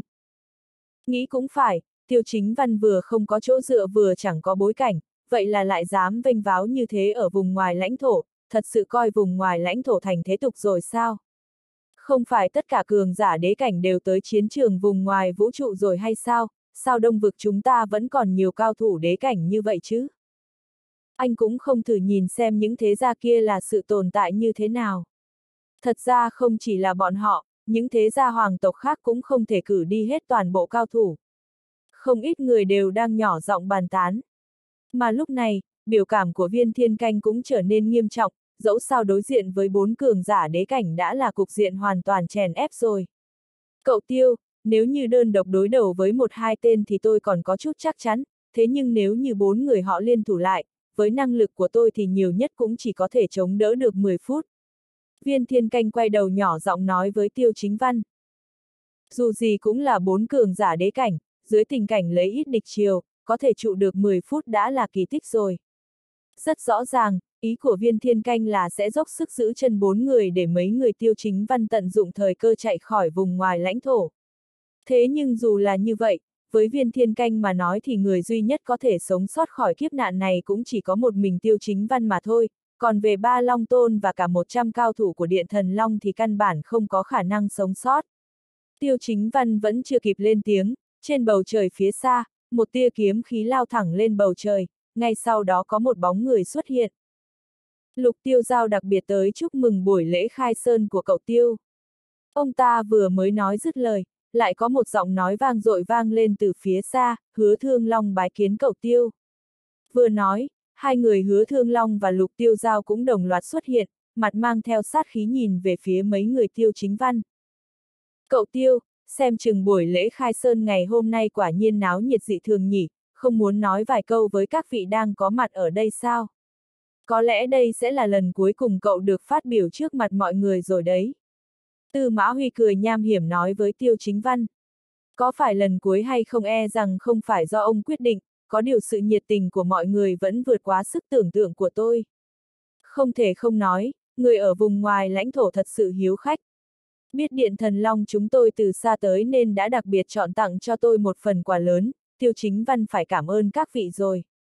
Tiêu Chính Văn bình thản tiến lên trước một bước, khẽ cười nhìn về phía đám người mà nói. Vừa dứt lời, Khổng Thế Phương bật cười lạnh lùng nói, nơi nào thì có quy tắc của nơi đó, nếu như cậu tiêu đã tới vùng ngoài lãnh thổ thì cũng phải nhập ra tùy tục thôi. Trong lời nói của ông ta mang theo cả ý cảnh cáo tiêu chính văn, chỉ cần nói một lời không đúng, hoặc là tiêu chính văn phản kháng chút thôi cũng sẽ bị tiêu diệt ngay tắp lự. Vùng ngoài lãnh thổ chính là một nơi cá lớn nuốt cá bé, tôn sùng phép tắc tùng lâm, nơi nào cường thế thì nơi đó có thể chèn ép tất cả. Mấy ngày gần đây, cậu tiêu chắc là cũng mời chào được không ít người nhỉ. Chỉ bằng bảo bọn họ ra gặp mặt mọi người xem sao. Tư Mã Huy Trâm biếm nói. Hình như các vị đang quá quan tâm tới điện thần long của tôi thì phải, có điều dù các vị xuất phát từ lý do gì thì tiêu chính văn tôi cũng phải cảm ơn sự quan tâm của các vị trước đã. Sau này có cơ hội, tiêu chính văn nhất định sẽ trả lại sự nhiệt tình này cho từng người một. Tiêu chính văn điềm nhiên mỉm cười. Nhận mà không đáp là vô lễ. Hôm nay mấy thế gia lớn tới hỏi tội, tiêu chính văn đương nhiên sẽ không ngồi chờ chết, sau này chắc chắn cũng sẽ trả lại gấp nhiều lần. Ngày khác, cậu tiêu, không phải cậu vẫn chưa thấy rõ cục diện hiện tại đấy chứ? Cậu vẫn có thể nhìn thấy ánh mặt trời ngày mai hay sao? Azin Duli hừ một tiếng, châm biếm. Tiêu chính văn, e rằng cậu không biết đế khư này là nơi nào nhỉ? Ngay cả nhà họ khổng tôi cũng không dám tùy tiện ở lại, vậy mà cậu lại dám coi nơi này như của mình, thật sự cho rằng cả vùng ngoài lãnh thổ đều không còn ai nữa sao? Không ngại nói thẳng với cậu, ở trước mặt mấy người chúng tôi thì cậu chỉ như con kiến. Trước đây để cậu được sống thoải mái tự tại, chẳng qua là do chẳng buồn bận tâm tới cậu mà thôi.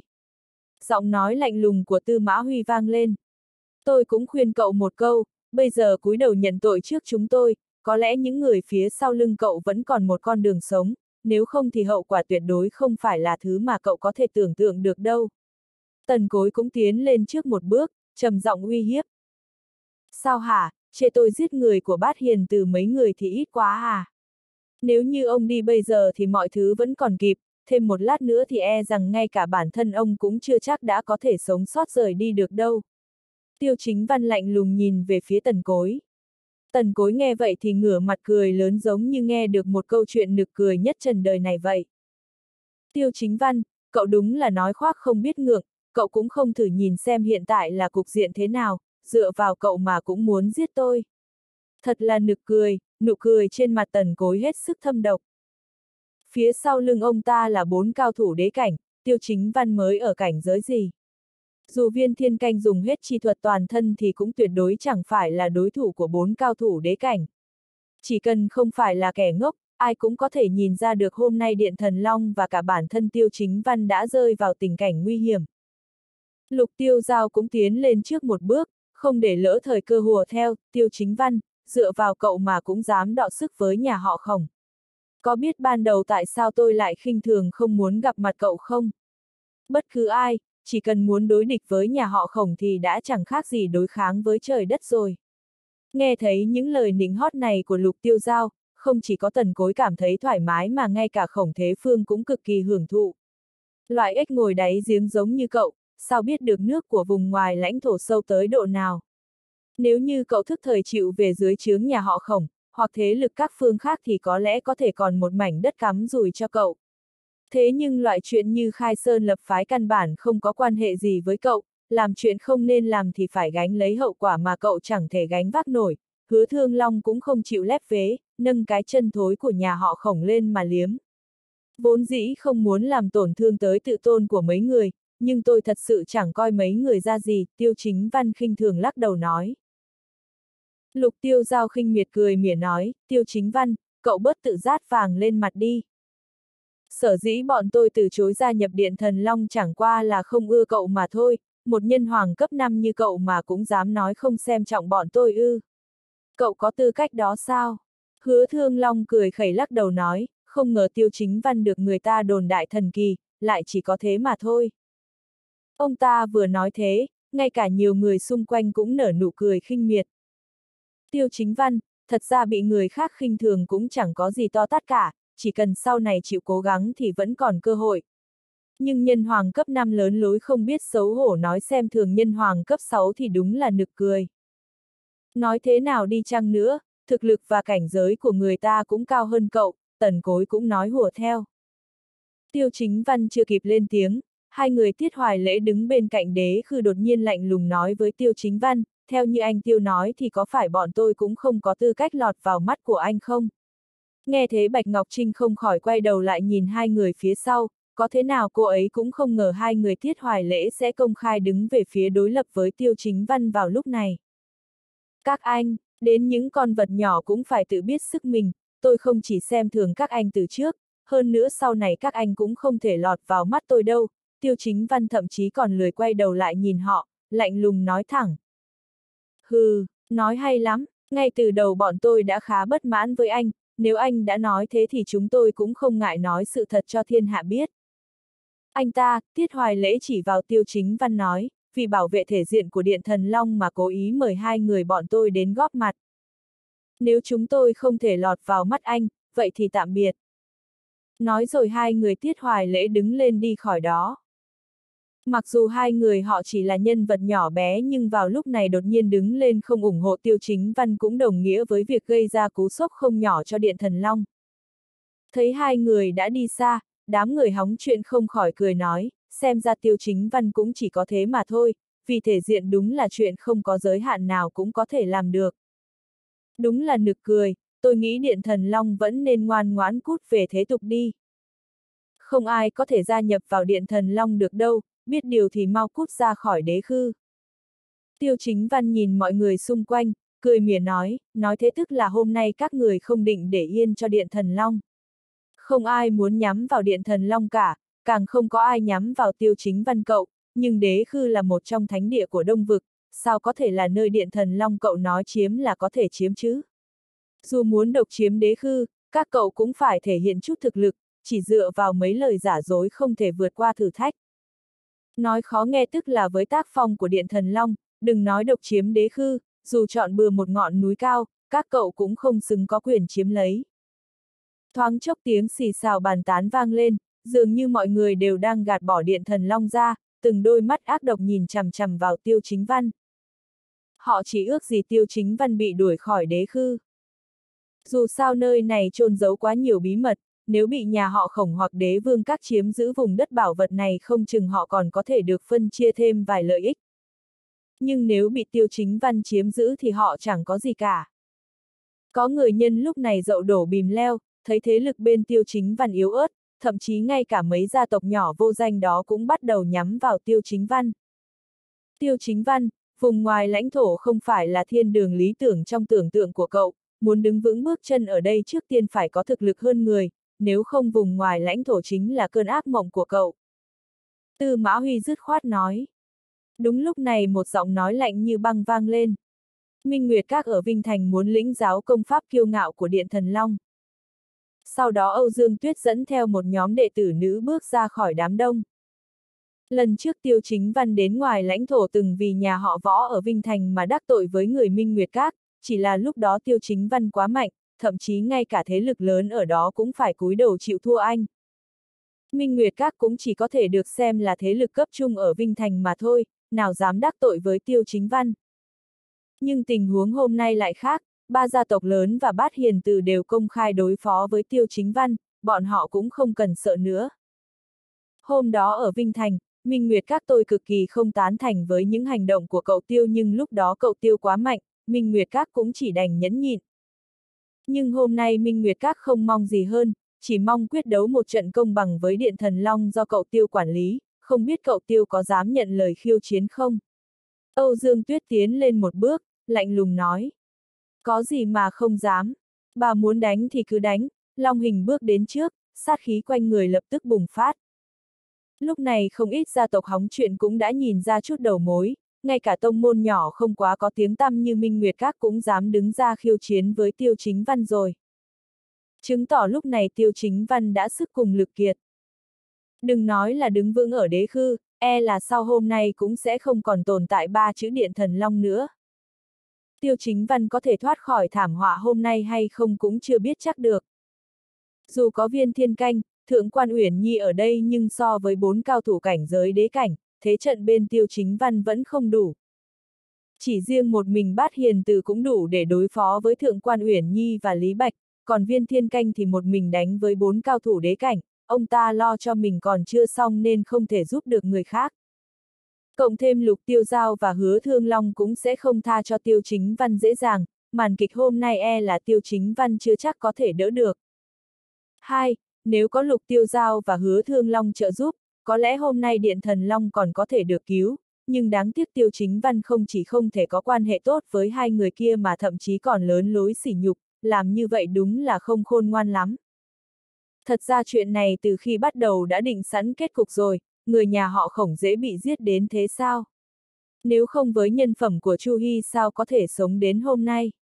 Tiêu chính văn vẫn không hiểu nhiều về vùng ngoài lãnh thổ, dù bản thân không có thực lực cũng phải tìm một chỗ dựa vững chắc, anh ta thì hay rồi, đắc tội với người ta, đến lúc quan trọng còn ai có thể giúp đỡ anh ta đây.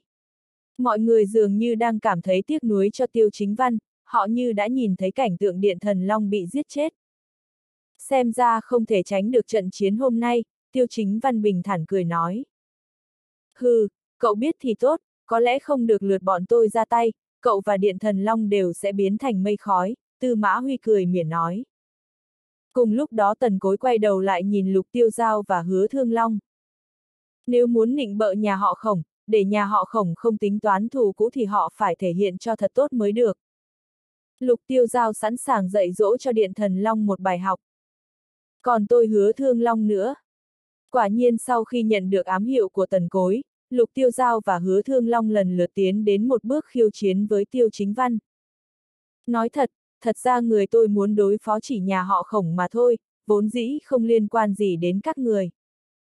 Nhưng nếu các người đã chủ động đưa đến tận cửa thì tiêu chính văn cũng không khách sáo. Có phải các người rất muốn khiêu chiến với điện thần long không?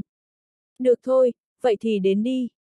Nói đến đây sắc mặt tiêu chính văn trở nên lạnh lùng, nói với phía sau, người nào lên trước. Trần Huy Tổ sẵn sàng nhận lời khiêu chiến trận này vì anh tiêu. Một tiếng hô vang lên, một luồng khí thức của cường giả đế cảnh lập tức bao phủ lấy trời đất. Trần Huy Tổ, đám người tư mã huy không khỏi nhíu mày. Không phải danh tiếng của người này làm họ sợ mà là trong ấn tượng của họ, Trần Huy Tổ chỉ mới là nhân hoàng cấp 7 mới đúng chứ. Nhưng khí tức cường giả đế cảnh này là sao đây? Không đợi họ hoàn hồn thì lại có một luồng khí tức đáng sợ nữa ập đến. Trương Nghi vốn dĩ là người ngoài không nên nhúng tay vào chuyện này, nhưng Trương Nghi tôi xuất thân từ thế tục sao có thể ngồi yên nhìn điện thần long vừa được lập ra bị các người bắt nạt được.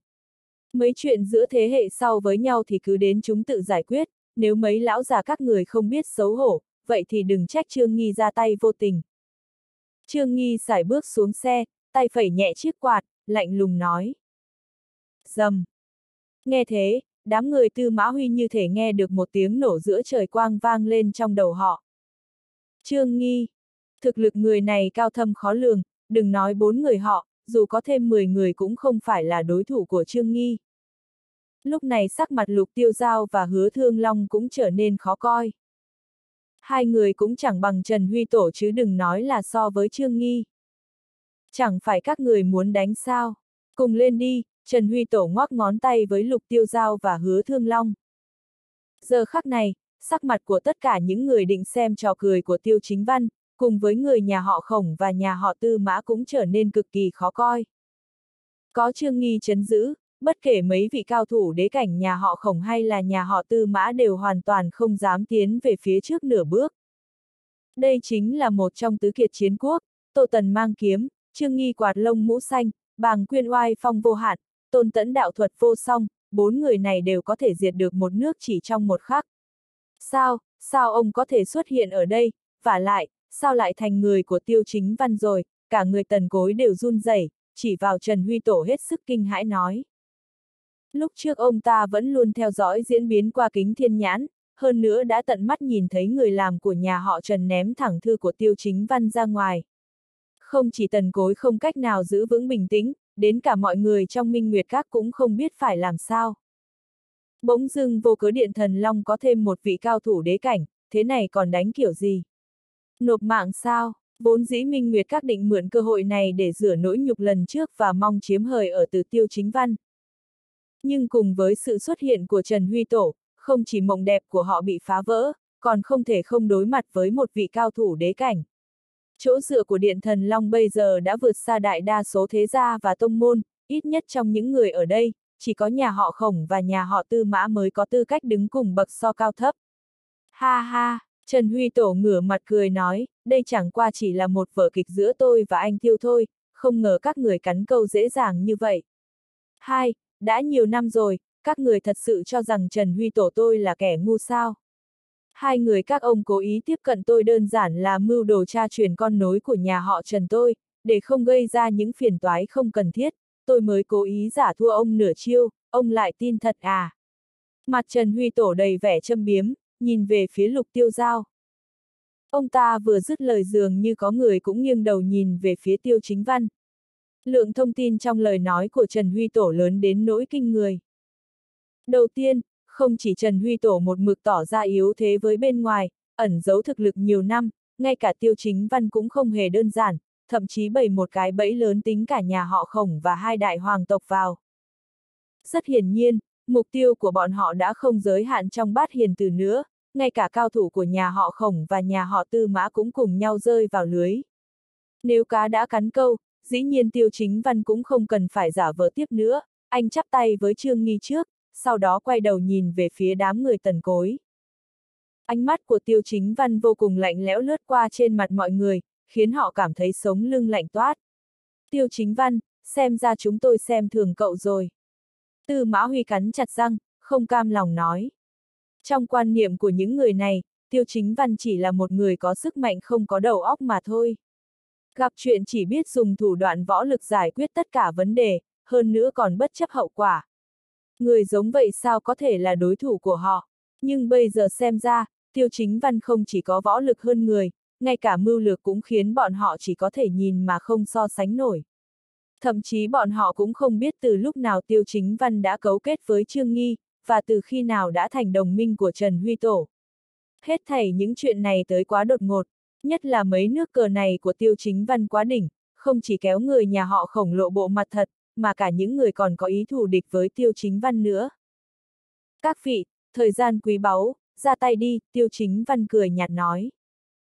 Ra tay, mí mắt hai người lục tiêu giao và hứa thương long giật liên tục mấy cái. Đối mặt với cao thủ đế cảnh, bọn họ đâu có tư cách ra tay. Cho dù lúc trước Trần Huy Tổ che giấu thực lực chân chính, muốn thắng ông ta cũng đã khó như lên trời, bây giờ, Trần Huy Tổ đã công khai thực lực, hai người họ cùng xông lên cũng không đủ cho một mình Trần Huy Tổ đánh. Anh Tiêu, vừa nãy trong lời nói của chúng tôi đã mạo phạm đôi chút, mong anh Tiêu bỏ qua hiểm khích lúc trước, hơn nữa chúng tôi cũng cảm thấy đế khư là một trong những thánh địa của Đông Vực, hàng năm để không như vậy cũng không phải là một cách hay. Anh Tiêu đến, vừa khéo giải quyết vấn đề khó khăn này giúp chúng tôi, cá nhân tôi cho rằng anh Tiêu chiếm đóng ở đây thì không còn gì thích hợp hơn. Sắc mặt Tư Mã Huy rất tệ, vô cùng không cam lòng nói. Giờ ông ta không còn suy nghĩ gì khác, chỉ cần có thể rút lui nguyên vẹn, khiến nhà họ Tư Mã không chịu bất kỳ tổn thất nào thì chính là thu hoạch lớn nhất. Tư Mã Huy, ông không đùa với tôi đấy chứ. Vừa nãy ông còn nói rõ là muốn tiêu diệt điện thần Long mà. Sao thế, giờ hối hận quay đầu à? Ông coi điện thần Long chúng tôi là đâu mà nói đến là đến, nói đi là đi. Tiêu chính văn lạnh lùng hừ một tiếng, không hề để lại đường lui cho Tư Mã Huy.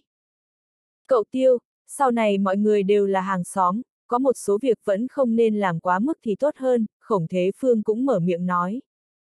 Âm, um, ông ta vừa dứt lời, một sự áp lực kinh khủng đã phủ xuống. Một đám mây đen kịt ngưng tụ ở bầu trời trên đỉnh đầu ông ta, từng tia chớp màu bạc chẳng chịt trong đám mây. Ngay cả đất dưới chân ông ta cũng nứt ra bởi vì không chịu nổi áp lực này. Khổng Thế Phương, ai cho ông can đảm nói năng ngạo mạn trước mặt Trương Nghi? Nhà họ khổng thì sao? Cho dù khổng khâu cũng không dám làm càn như vậy trước mặt Trương Nghi tôi. Nói khó nghe, cho dù giết ông, lão già ở khổng khâu kia dám nói nửa chữ sao.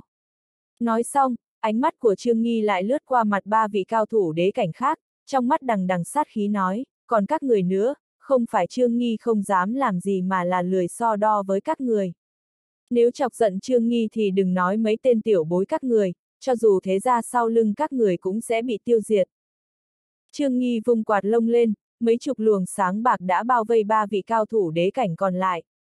Thấy cảnh tượng này, ngay cả mọi người vây quanh xem cũng hít một hơi khí lạnh, xem ra chuyện hôm nay, muốn không làm lớn cũng không được. Xem đây, cùng lúc đó, Trần Huy Tổ đâm thẳng cây giáo về phía lục tiêu giao. Giáo bạc vừa đâm ra đã mang khí thế chấp giật sấm rền, dọa lục tiêu giao sợ hãi dùng mình. Lục tiêu giao có thiên phú hơn người, đối mặt với một đòn tấn công từ cường giả đế cảnh, ông ta cũng không dám đón đỡ, vội vàng tránh lui ra 10 dặm. Nhưng đòn tấn công của cường giả đế cảnh thì sao có thể để ông ta tránh dễ dàng được. Chỉ thấy cây giáo bạc kia giống như rồng bay cứ thế đuổi theo lục tiêu giao. Sát khí liên miên không dứt khiến lục tiêu giao không khỏi tê cả ra đầu. Thấy thực sự không tránh né được, lục tiêu giao vội vàng giơ kiếm dài trong tay lên chống vào bên cạnh. Nhưng không làm thế còn ổn, vừa chống lên, vô số sát khí bắn tán loạn ra, trong chớp mắt, trên người lục tiêu giao đã có thêm mười mấy vết thương chảy máu. Máu tươi phun thẳng lên trên không, chỉ một chiêu, lục tiêu giao đã có vẻ bị đâm thành cái rổ rồi. Tần cối bên cạnh thấy Trần Huy Tổ đang dốc hết sức tấn công lục tiêu giao thì nhắm đúng thời cơ, đột nhiên vung kiếm chém về phía sau lưng Trần Huy Tổ. Tuy tần cối chỉ là nhân hoàng cấp 8, còn cách đế cảnh rất xa, nhưng chỉ cần bị ông ta đánh lén thành công, Trần Huy Tổ cũng sẽ mất đi sức chiến đấu trong nháy mắt. Chỉ là nhát kiếm kia vẫn chưa thể đến gần Trần Huy Tổ, ông ta đã đột nhiên xoay người, đâm cây giáo trong tay về phía tần cối. Thịch, cây giáo của Trần Huy Tổ đâm thẳng vào ngực tần cối, tần cối phun ra một ngụm máu lớn, ngực cũng sụp xuống toàn bộ. Không chờ hứa thương long ra tay, Trần Huy Tổ đã tung cú đấm. Một cú đấm của cường giả đế cảnh mang theo khí thế cả bầu trời, hứa thương long còn chưa kịp giơ tay lên ngăn cản, đã bị Trần Huy Tổ đấm trúng bụng, ngã nhào ngay lập tức, miệng phát ra tiếng kêu thảm thiết. Tất cả những chuyện này chỉ xảy ra trong nháy mắt, thậm chí đám người lục tiêu giao còn không có chút sức lực đánh trả, đã bị đánh suýt chết. Chỉ dựa vào các người mà cũng dám hoành hoang gây chuyện khắp nơi cơ à. Khóe miệng của Trần Huy Tổ hơi nhếch lên, mỉm cười nhàn nhạt. Giờ phút này, xung quanh yên tĩnh không tiếng động, có thể nghe được cả tiếng kim rơi. Tất cả mọi người đều hoảng sợ nhìn cảnh tượng trước mắt. Trước đây chỉ là nhân vật nhỏ trong bát hiền từ bị đánh, còn lần này, ngay cả tần cối là chủ sự cậu bát hiền từ cũng bị đánh gần chết, quả đúng là điện thần long không dễ trêu đùa. Bây giờ đã hiểu ra chưa? Từ trước tới nay tôi chưa bao giờ xem các người ra gì, hơn nữa, các người cũng sẽ không bao giờ lọt vào mắt tôi được đâu. Tiêu chính văn cười nhạt nói. Ngay khi tiêu chính văn nói ra lời này, sắc mặt của đám người tư mã huy lập tức trở nên u ám. Đặc biệt là lão già tóc bạc sau lưng tần cối, trong mắt ông ta lóe lên một tia sáng lạnh lùng. Nhưng ở trước mặt Trương Nghi, ông ta đâu dám có nửa câu bất mãn. Chỉ nhìn chằm chằm tần cối và lấy tay che ngực, phát từng tiếng kêu gào bi ai. Lúc này, đám đông đang xem náo nhiệt xung quanh mới bỗng nhiên tỉnh ngộ.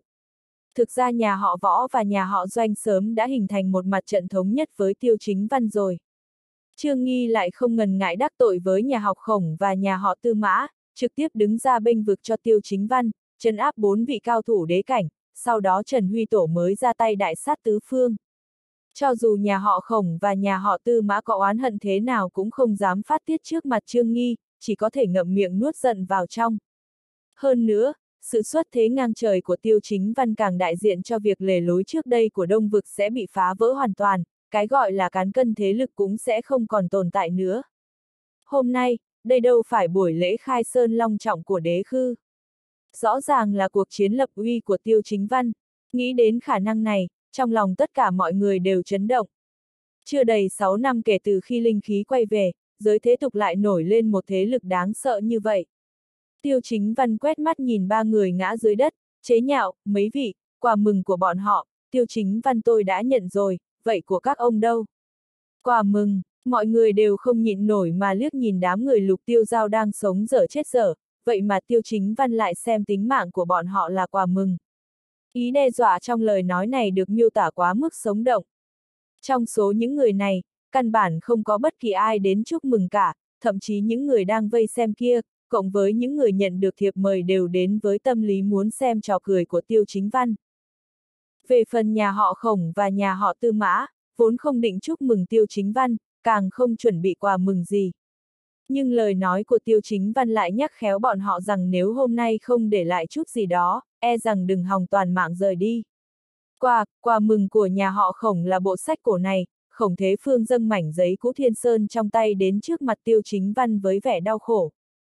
Đây là bảo vật của nhà họ khổng, chính là bộ sách mà năm đó khổng khư quỳ ở cửa hàm cốc ba ngày ba đêm, sau khi chịu khổ đợi lão tử mà không có kết quả, đệ tử của lão tử là Vương Hử đã thương hại và ném cho ông ta. Bây giờ bộ sách cổ này được truyền đến tay của khổng thế phương, nhưng ông ta chưa kịp giấu đi đã phải chuyển tay tặng cho tiêu chính văn. Tuy nhiên ông ta cũng bị ép không còn cách nào khác, lựa chọn giữa mạng sống và bảo vật, đương nhiên tính mạng quan trọng hơn. Tư Mã Huy sững sờ, kiếm thất thinh trong tay ông ta căn bản không được xem là bảo vật, hơn nữa, nếu cúi đầu trước một tên tiểu bối giới thế tục như tiêu chính văn này, sau này làm sao ông ta đứng trước mặt người khác chứ? Nhưng ngay khi Tư Mã Huy định dùng vũ lực uy hiếp, lại bắt gặp ánh mắt vô cùng lạnh lùng của Trương Nghi. Phù, Trương Nghi bề ngoài là một học giả thư sinh, nhưng ông ta không phải là một nhà nho cổ hủ, mà là một mưu sĩ chính hiệu. Câu nói, người hiền từ không thể cầm quân được, chính là từ miệng của Trương Nghi mà ra. Nghĩ đến lời nói vừa nãy của Trương Nghi, Tư Mã Huy lập tức gạt bỏ suy nghĩ trước đó, cười gượng gạo rồi tiến lên một bước, nói cậu tiêu, Điện Thần Long vừa mới rời đến vùng ngoài lãnh thổ, tin rằng cậu nhất định đang cần đan dược luyện chế từ hoa tử tiêu. Nhà họ Tư Mã không có gì để tặng, 500 cây hoa tử tiêu này, đại diện cho chút thành ý của nhà họ Tư Mã tôi. Tính mạng của cậu chỉ đáng giá 500 cây thôi ư. Trương Nghi hỏi với giọng lạnh lùng. Phù, nghe thấy vậy, Tư Mã Huy không nhịn được mà hít sâu một hơi. Đây là đang bắt bọn họ phải lấy tiền ra để mua mạng sống. Nghĩ đến đây, Tư Mã Huy vội vàng sửa lời, ồ, đúng đúng đúng, còn có 500 cây nữa, đang trên đường đến rồi, rất nhanh sẽ được gửi đến, rất nhanh sẽ được gửi đến. Ừ, quà mừng chưa đến, mấy vị ở lại đây một lúc, uống vài chén trà rồi đi cũng chưa muộn, tiêu chính văn nói, chuyển sự chú ý của mình sang Azin Duli. Nghe nói năm đó khi nhà họ Azin Zoro tấn công kinh thành, hình như đã lấy đi ngọc tỷ truyền quốc nhà Minh và thiên ấn của Vũ Vương. Ngay khi lời của tiêu chính văn vừa dứt, Azin Duli không khỏi nặng chịu trong lòng. Hai thứ này đều là bảo vật của gia tộc Azin Zoro, ngọc tỷ truyền quốc thì không nói làm gì, nhưng thiên ấn Vũ Vương chính là đại diện cho chính tông của Hoa Quốc. Nếu giao hai vật này ra, thậm chí nhà họ Aizin Zoro của ông ta có thể bị loại tên khỏi hoàng tộc. Ờ, nhà họ Aizin Zoro tôi, nguyện ý tặng ngọc tỷ truyền quốc cho cậu tiêu, mong chỉ một chiếc ngọc tỷ truyền quốc đã muốn tôi tha cho rồi à. Ánh mắt của tiêu chính văn càng trở nên lạnh lùng. Aizin Duli nghiến răng nghiến lợi, mặt đỏ bừng nói tiêu chính văn. Cậu đừng ép người quá đáng. Đối với nhà họ Aizin Zoro tôi, thiên ấn vũ vương kia chính là, không chờ Azin Duli nói xong, tiêu chính văn hừ một tiếng, tên hung nô như ông cũng xứng để nói ra những lời như vậy ư. Vũ vương là người khai quốc đại hạ Hoa Quốc, có quan hệ gì với nhà họ Azin Zoro ông? Không giao ra thiên ấn Vũ Vương, hôm nay tôi quyết không tha cho nhà họ Azin Zoro. Tiêu chính văn, cậu cũng là vua Bắc Lương, lẽ nào lại làm việc như vậy sao? Khuôn mặt Azin Duli tối sầm lại. Sao, bây giờ biết không nỡ rồi à? Rất xin lỗi, nhà họ Azin Zoro các ông, không có chút mặt mũi nào trước mặt tôi. Còn nữa, ông cũng không cần phải nói ra những lời cay độc đó. Làm người phải có giới hạn, sau này gặp lại còn vui vẻ gì chứ, nói cũng vô dụng. Tôi nghĩ hôm nay ông không tới đây để chúc mừng, mà là để lấy đầu của tôi nhỉ. Nếu không phải vì có ông Trương, e rằng ông đã sớm ra tay rồi, không phải sao. Dù sao mọi người đều không chết không hết dây dưa, cũng không cần phí lời nữa, để lại ấn thì khỏi để lại đầu mà để lại đầu thì khỏi để lại ấn. Được, được, tôi sẽ đưa, Azin Duli nghiến chặt răng, quay đầu về phía tên tay sai sau lưng. Tân Vương, đó là, nếu không muốn chết thì nhanh đi lấy đi, khóe mắt của Azin Duli như sắp rách ra. Ông ta không muốn đưa nhưng với tình thế hiện tại, căn bản không cho phép ông ta lựa chọn. Minh Nguyệt Các thì sao? Tiêu chính văn quay đầu nhìn Âu Dương Tuyết. Giờ phút này, sắc mặt Âu Dương Tuyết tái xanh, có thể nói bà ta là người thê thảm nhất trong mấy người này. Chạy hàng vạn dặm xuyên đêm để đến tặng quà cho Tiêu Chính Văn. Cậu Tiêu, tôi, Minh Nguyệt Các chỉ là một môn phái nhỏ, năng lực tài chính có hạn, nhưng cũng nguyện dâng lên một nghìn viên dưỡng thần đan. Mong cậu Tiêu vui lòng nhận cho. Giờ phút này, trái tim của Âu Dương Tuyết đang dỉ máu, một nghìn viên dưỡng thần đan, đủ để môn phái của bà ta luyện chế 100 năm. Những người đang hóng hớt xung quanh đều mừng thầm, bản thân cũng không lắm mồm lắm miệng, nếu không, e rằng cũng phải moi móc ra sản ra để mua lấy tính mạng rồi. Không lâu sau, những vật phẩm của nhà họ Tư Mã và Ajin Zoro đều lần lượt được mang đến, sau khi Long Nguyệt kiểm kê xong, mới khẽ gật đầu với Tiêu Chính Văn. Cậu Tiêu, Trương Tiền Bối, tôi có thể đi được chưa? Đám người Tư Mã Huy nhìn Tiêu Chính Văn và Trương Nghi với vẻ mặt vô cùng khó coi. Trương Nghi miễn cưỡng vẫy quạt lông nói, cút, trong tai những người này, chữ cút này chưa bao giờ dễ nghe như hôm nay, sau khi cảm tạ lia lịa xong liền xoay người rời đi, thậm chí còn không dám quay đầu lại. Cho đến khi tất cả bọn họ đi xa rồi, Trương Nghi cũng bước lên xe ngựa, nói về phía tiêu chính văn, sự việc hôm nay chỉ mới bắt đầu, ở đại hội Vạn Tông, những người này nhất định sẽ nhảy ra gây sự. Đến lúc đó, tôi cũng không tiện ra mặt cho cậu tiêu, vì vậy, khoảng thời gian này, cậu tiêu phải chuẩn bị kỹ lưỡng mới được, tôi cáo từ. Nói xong, Trương Nghi chắp tay chào tiêu chính văn, sau đó lại nhìn Bạch Ngọc Trinh một hồi lâu rồi nói với phu xe trở về tần vương cung. Sau khi Trương Nghi rời đi, Tiêu Chính Văn và Bạch Ngọc Trinh nhìn nhau cười, hai người trong lòng đều đã rõ, cùng quay về phòng tiệc.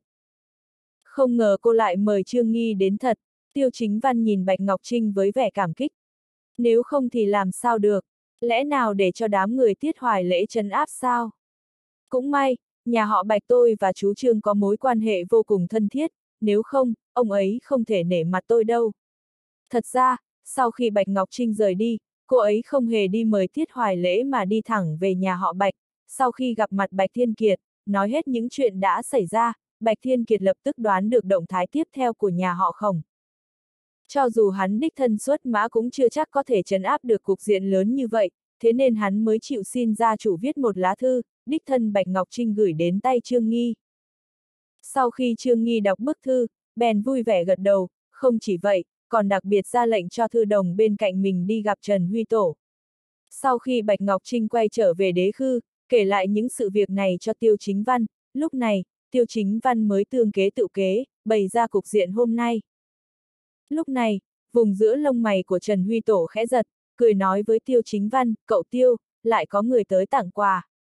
Tiêu chính văn cũng cảm nhận được khí thức của đối phương nhưng anh chỉ nhìn thoáng qua đã nở nụ cười lạnh lùng, tôi chưa đến tìm Ngọc Khuyết Cung mà bọn họ đã tự đưa tới cửa rồi. Lý Bạch, ông đi đón tiếp đi. Tiêu chính văn nói xong thì sai người đón Bạch Ngọc Trinh và Trần Huy Tổ vào núi Đế Khư. Riêng anh thì chăm chú nghiên cứu bí ẩn của chiếc gương bát quái trong tay. Người dẫn đầu của Ngọc Khuyết Cung đến lần này chính là thầy của Tư Mã Minh Húc, lão cung chủ của Ngọc Khuyết Cung Thượng Quan Ly.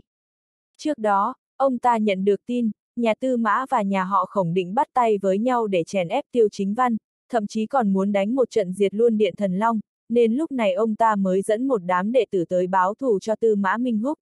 Vốn dĩ ông ta nghĩ có cao thủ đế cảnh của nhà tư mã ở đây thì việc giết tiêu chính văn chỉ dễ như trở bàn tay mà thôi, nhưng khi ông ta đến nơi mới phát hiện, cao thủ nhà tư mã và nhà họ khổng đã mất tăm mất tích không thấy bóng dáng từ lâu ngay cả đám người hóng chuyện cũng bỏ đi hơn nửa.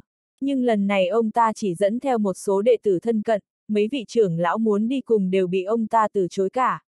Đang lúc nghi ngờ thì mấy người Lý Bạch và Long Hình từ phía đối diện đi đến.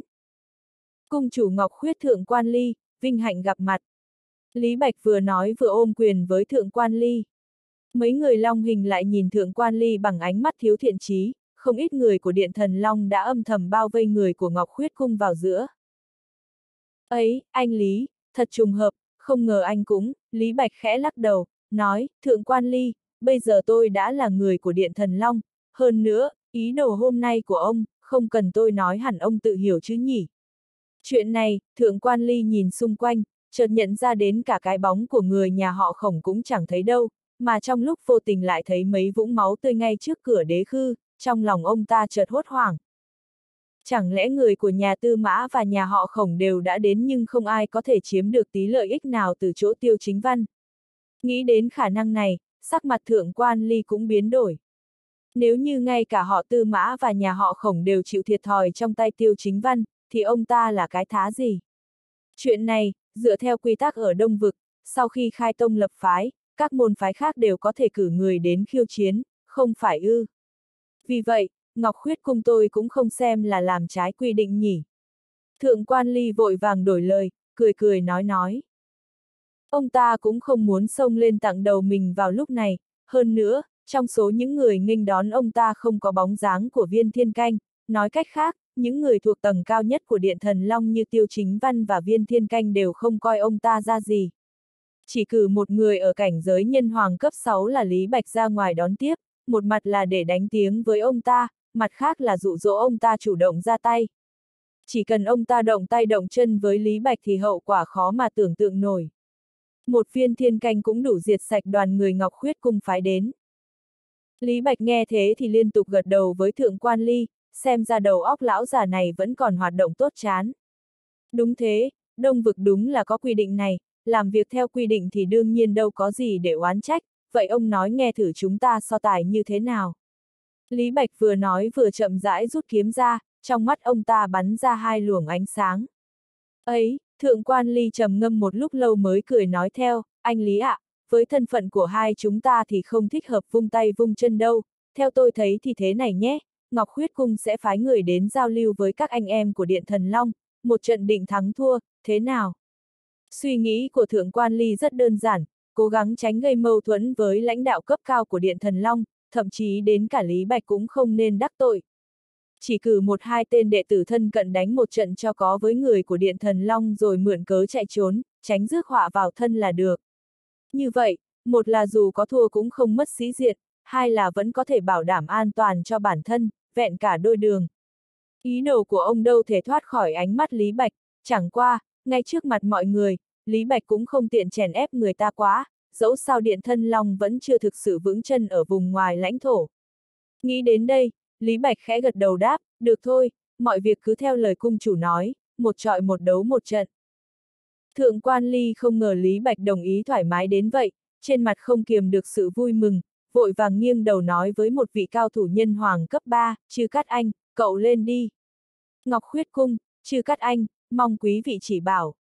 Vừa nói, ánh mắt chư cắt anh vừa nhìn về phía những tòa lầu cao san sát dưới chân núi đế khư.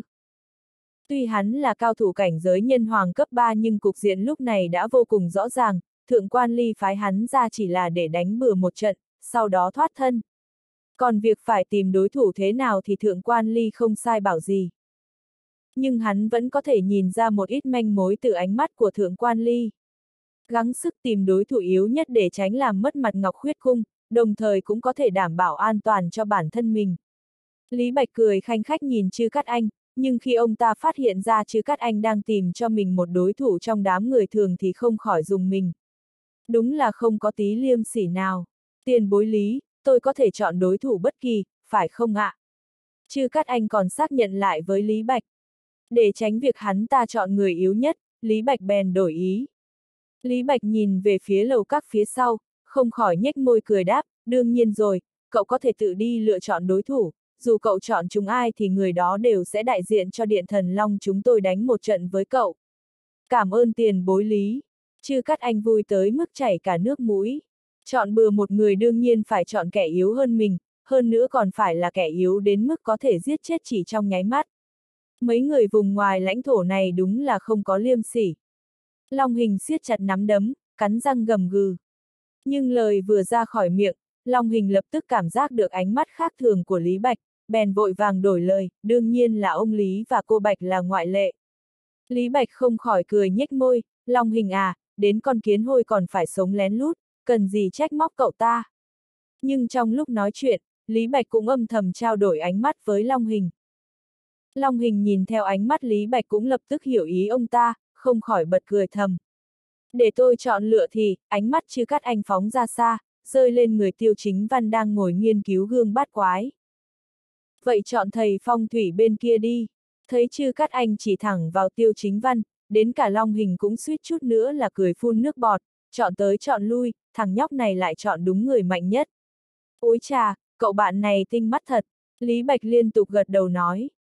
Đến Long Nguyệt cũng không nhịn nổi phải cúi đầu trộm cười, thầm nghĩ, tên chư cắt anh này có nằm mơ cũng không ngờ chọn đi chọn lại cuối cùng chọn chúng tiêu chính văn. Không dám không dám, nhưng mà tôi nghĩ, điều tiền bối lý nói là chắc chắn nhỉ. Chư cắt anh rất sợ Lý Bạch lật lọng, vội vàng xác nhận thêm lần nữa. Lý Bạch nhíu mày, nhìn tiêu chính văn, khuyên can, cậu bạn, tôi cảm thấy cậu nên chọn người khác thì hơn, anh ta, không hợp với cậu đâu. Hử, Chư Cát Anh còn lâu mới thèm tin lời Lý Bạch, hơn nữa, nhìn dáng vẻ của tiêu chính văn vốn không giống người võ đạo, mà trông càng giống người của đạo thuật hơn. Hay đây là đồ đệ của viên thiên canh, ai cũng biết, tuy dưới đế cảnh thì đạo thuật trí tôn là vô địch. Nhưng không phải ai cũng có thể đạt đến trình độ này, nhất là với một người mới học thì thường là mấy con gà chân yếu tay mềm. Đừng nói hắn ta vốn là cao thủ cảnh giới nhân hoàng cấp 3, cho dù người kia có là cảnh giới nhân vương thì hắn ta cũng có thể giết chết đối phương dễ dàng. Tiền bối lý, quân tử nhất ngôn, tứ mã nan truy. Chư Cát Anh vô cùng tin chắc vào sự lựa chọn chính xác của mình. Được rồi, nếu cậu đã nhất định giữ ý vậy tôi cũng không nhiều lời nữa. Lý Bạch đồng tình nhìn Chư Cát Anh. Đừng nói là nhân hoàng cấp 3, ngay cả Lý Bạch đứng trước mặt tiêu chính văn cũng chả là gì. Nhưng trước đó tôi phải nói trước, hôm nay các người đã mạo phạm đến Điện Thần Long, vì vậy, trận này không thể đánh cho có. Lý Bạch vừa dứt câu, thượng quan ly không khỏi cau mày, ồ. Không biết anh Lý có gì dạy bảo. Thế này đi, nếu các người thắng, tôi sẽ để các người rời đi, tuyệt đối không gây khó dễ. Nhưng nếu các người thua thì phải bị Điện Thần Long xử lý, không được phản kháng. Thượng quan ly nhìn chằm chằm mặt Lý Bạch, lúc lâu sau mới nghiêng đầu nhìn về phía chư cắt anh tựa như đang hỏi hắn ta nắm chắc được bao nhiêu. Chư cắt anh tràn đầy tự tin gật đầu mạnh với thượng quan ly, tỏ ý mình chắc chắn 100%. Dù gì người là do hắn tự chọn, hơn nữa còn chọn lựa kỹ càng, điện thần long là bền yếu thế hơn thì sao có thể thất bại được. Được, thượng quan ly nghiêm giọng nói, vậy cứ theo như lời anh Lý, nếu chúng tôi thua thì sẽ nghe theo quyết định của anh Lý, nhưng nếu chúng tôi thắng, cho dù có đánh chết người thì cũng không được đuổi theo chúng tôi, phải để chúng tôi bình yên rời đi. Được, cứ quyết định như vậy. Có điều, nếu các người thua thì phải bỏ ra 3.000 cây hoa tử tiêu làm đồ bồi thường. Lý Bạch nở nụ cười nhạt. Lý Bạch vừa nhắc đến 3.000 cây hoa tử tiêu, Long Hình đứng bên cũng bị ông ta dọa giật nảy mình. Hóa ra Lý Bạch còn ác hơn cả tiêu chính văn, không hổ là gừng càng già càng cay. Thật ra, ngay lúc chưa cắt anh tưởng mình chọn tiêu chính văn là thông minh lắm thì Lý Bạch đã thầm tính xem phải làm thế nào mới chiếm được một món hời lớn của Ngọc Khuyết Cung. Lơn béo tự dưng dâng mình lên cửa, đâu có ngu mà từ chối làm gì. Thượng quan ly nghe thấy con số này cũng thầm cao mày, đào sạch Ngọc Khuyết Cung cũng không gom được nhiều ho tử tiêu đến vây. Nhưng ngẫm lại thêm chút, hẳn là chư cắt anh sẽ không tự gài bẫy mình đâu, dù gì cũng để hắn tự chọn đối thủ rồi, có phải đầu ngu đâu mà chọn một người có thực lực tương đương. Sao thế, anh thượng quan không bằng lòng à? Lý Bạch nói đến đây thì khuôn mặt cũng chợt xa sầm lại, lộ ra sát khí. Thượng quan Ly do dự một chốc, sau đó mới cười nói theo, anh Lý nói gì thế, chỉ là so tài đánh võ treo tí tiền thưởng thôi mà. Nhưng mà, 3.000 cây hoa tử tiêu thì đúng là một con số không nhỏ đối với Ngọc Khuyết Cung chúng tôi, hơn nữa, nếu đã treo giải như thế thì chắc điện thần long cũng có chút thành ý nhỉ. Lý Bạch thấy thượng quan ly nhún nhường, vẻ mặt ông ta lúc này cũng hòa hoãn lại, được thôi. Không thì tôi có ý này, nếu chúng tôi thắng, ngoài việc để chúng tôi rời khỏi đây, điện thần long chỉ cần đặt thêm một nghìn cây hoa tử tiêu để đặt cọc, không biết, được. Cứ quyết định như vậy đi. Lý Bạch đồng ý hết sức phóng khoáng. Lẽ ra, Lý Bạch không có quyền quyết định một việc lớn như vậy, nhưng đây là một trận cược chắc chắn sẽ thắng thì có gì mà ông ta không dám. Thấy Lý Bạch đồng ý hào phóng như thế, con người của thượng quan ly đảo qua đảo lại mấy vòng. Anh Lý, lỡ đâu anh không chịu nhận thì tôi cũng không biết tìm ai làm chứng đây, đúng không? Thượng quan ly cũng cẩn thận quan sát tiêu chính văn một phen, thấy anh quả đúng là một người bình thường, chứ cắt anh hẳn là thắng chắc. Thế nhưng dù gì nơi này cũng là địa bàn của Điện Thần Long, người ta mà coi như lời nói gió bay thì ông ta biết làm thế nào. Xem ra anh thượng quan không tin tưởng tôi rồi. Nhưng cũng không sao, tôi sai người đem giấy bút tới, chúng ta lập khế ước, anh yên tâm rồi chứ. Lý Bạch nói với vẻ phối hợp hết sức. Lời này cũng vừa hợp ý của thượng quan ly, vậy nên ông ta liên tục gật đầu đồng ý. Dù không thể giết tiêu chính văn để báo thù xả hận cho tư mã Minh Húc, nhưng được một nghìn cây hoa tử tiêu về tay thì cũng coi như không phí công đi chuyến này. Ngọc Khuyết khung cách nơi này xa đến cả trăm km, đã bôn ba đi xa như thế thì kiểu gì cũng phải chiếm được lợi ích chứ. Người đâu, đem giấy bút lên, Lý Bạch bình thản sai bảo. Không bao lâu sau, bút mực đã dọn xong, Lý Bạch tự mình lấy bút viết thỏa thuận, hai bên ký tên đồng ý, thượng quan ly mới thở phào. Thật may lần này ông ta đích thân đến, nếu đổi thành người khác thì chưa chắc Lý Bạch sẽ cho ông ta mặt mũi như vậy, có khi còn thẳng thừng sông lên choảng nhau luôn. Đến lúc đó, đừng nói là lợi lộc, e là có cái mạng cũng phải bỏ lại đây. Tốt lắm, bắt đầu đi. Lý Bạch vừa nói vừa liếc mắt nhìn Long Hình, ý bảo anh ta đi thông báo với Tiêu Chính Văn. Long Hình dáng nhịn cười, xoay người chạy về phía lầu các. Sau khi Long Hình đi, Thượng Quan Ly còn đặc biệt gọi chư cắt anh đến bên mình, nhỏ giọng dặn dò, chút nữa cậu phải nhớ, có thể đánh đối phương bị thương tàn phế, nhưng tuyệt đối không được giết người. Đám người viên thiên canh và tiêu chính văn không lộ mặt, chúng ta đánh một tên thầy phong thủy thì không làm tổn hại đến đại thể nhưng nếu cậu giết người ở đây, dựa vào tính tình của tiêu chính văn thì e là hắn sẽ tuyệt đối không để chúng ta sống sót rời đi. Biết chưa, chư các anh nghe vậy thì liên tục gật đầu, đáp, xin cung chủ yên tâm, tôi có chừng mực, tuyệt đối sẽ không làm hại đến tính mạng anh ta. Lúc này thượng quan ly mới yên lòng, đứng xa xa nhìn hai người Long Hình và Tiêu Chính Văn cùng nhau đi đến, vẻ mặt ông ta hơi đắc ý, anh Lý này, không biết mất đi một nghìn cây hoa tử tiêu có gây ảnh hưởng xấu gì đến anh không? Nếu anh Lý khó xử thì tôi lấy một nửa thôi cũng được. Lý Bạch nghe thế thì nhếch mép cười nói, anh thượng quan nói lời này có phải hơi sớm rồi không? Hai người họ vẫn chưa đánh nhau, sao anh chắc chắn là người Ngọc Khuyết cung các anh sẽ thắng chứ? Thượng quan ly vuốt sâu nói, có lẽ chưa cắt anh không phải đối thủ của ba người sau lưng anh, nhưng nếu đến cả một thầy phong thủy cũng đánh bại được cậu ta thì Ngọc Khuyết cung tôi sao còn đặt chân ở đông vực được nữa. Trong lúc trò chuyện, hai người Long Hình và Tiêu Chính Văn đã đi đến gần, chứ cắt anh ngạo nghễ liếc nhìn Tiêu Chính Văn, nói anh bạn, tôi đây cũng bất đắc dĩ thôi. Nhưng mà cậu cứ yên tâm, tôi đây tuyệt đối sẽ không lấy mạng cậu, hơn nữa còn nhường cậu 10 chiêu. Thế nào, vãi trưởng, Long Ngao không nhịn cười nổi, cười văng cả nước bọt. Một con gà nhân hoàng cấp 3 mà cũng bày đặt khoác lác nhường Long Vương 10 chiêu. Ái chà, mấy đứa ngu thì tôi thấy nhiều rồi, nhưng mất não như hắn thì đúng là lần đầu được thấy. Long hình cũng cạn lời. Ồ, nhường tôi 10 chiêu, vậy cảm ơn ông anh nhiều nhé. Tiêu chính văn cũng không khách sáo với hắn, anh vươn tay ra, gương bát quái lập tức bắn ra một tia sáng trắng về phía chư cắt anh. Thật sự thì ban đầu, chư cắt anh không coi cái gương bát quái trong tay tiêu chính văn ra gì. Dù gì thì vùng ngoài lãnh thổ cũng có không ít người học đạo thuật, mấy thứ như gương bát quái hay kiếm gỗ đào gì đó đều không phải của mới lạ. Hơn hết, mấy thứ này là đồ cơ bản của mấy người mới học. Theo tính toán của hắn, tia sáng trắng kia chỉ có lực sát thương bằng cảnh giới binh vương mà thôi, đối với một cao thủ cảnh giới nhân hoàng cấp 3 như hắn mà nói thì chẳng si nhê gì. Nhưng khi tia sáng trắng ấy cách hắn còn chưa tới 3cm thì trong tai chư cắt anh chợt truyền đến tiếng sấm đùng đùng. Hả, toàn thân chư cắt anh nổi da gà, sau lưng bốc lên khí lạnh ngùn ngụt. Đây đâu phải tia sáng bình thường, đây là thiên lôi phích lịch thì có.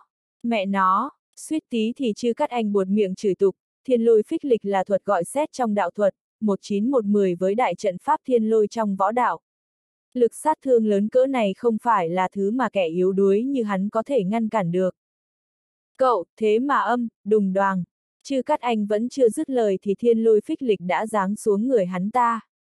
Chỉ thấy một luồng ánh sáng trắng lóa khiến người ta không dám nhìn thẳng, uy lực trời cao cuồng bạo hệt như thủy triều đổ ập xuống. Đến cả tiêu chính văn cũng hơi ngạc nhiên, anh không ngờ cái gương bát quái này sẽ có sức mạnh khủng khiếp đến vậy. Thật ra tiêu chính văn vẫn chưa hiểu rõ cách dùng gương bát quái lắm, bằng không, sức mạnh của một chiêu này có khi còn tăng thêm gấp 10 lần nữa không chừng. Chỉ vẻn vẹn một chiêu với uy lực khổng lồ như vậy đủ để khiến thượng quan ly ngơ ngác. Thậm chí, cả viên thiên canh cũng kinh ngạc nhìn sang tiêu chính văn sau khi trông thấy uy lực kinh khủng này. giơ tay lên trên không, kêu gọi thiên lôi phích lịch là năng lực mà chỉ có đạo thuật trí tôn mới làm được, không phải tiêu chính văn xuất thân từ võ đạo sao. Chẳng lẽ cậu ta tu luyện song song cả đạo và võ? Cùng lúc đó, trên bầu trời đầy dáng chiều đột nhiên dọi xuống một chùm ánh sáng tinh khôi, trông hệt như một con thần thú khổng lồ từ thời thượng cổ đang thức tỉnh. Luồng sức mạnh này vốn không phải của tiêu chính văn mà là hoàn toàn xuất phát từ chiếc gương bát quái trông bình thường kia. Đừng nói là nhân hoàng cấp 3, đến cả nhân hoàng cấp 6 như Lý Bạch cũng sợ xanh mặt. Luồng sáng trắng kia kinh khủng cỡ nào thì chỉ có người trong cuộc mới cảm nhận được. Âm, um, Mỗi chỗ mà luồng sáng kia chiếu thẳng xuống, dù là núi cao hay sông lớn, đến cả vùng núi của mấy môn phái nhỏ đều bị san bằng chỉ trong nháy mắt.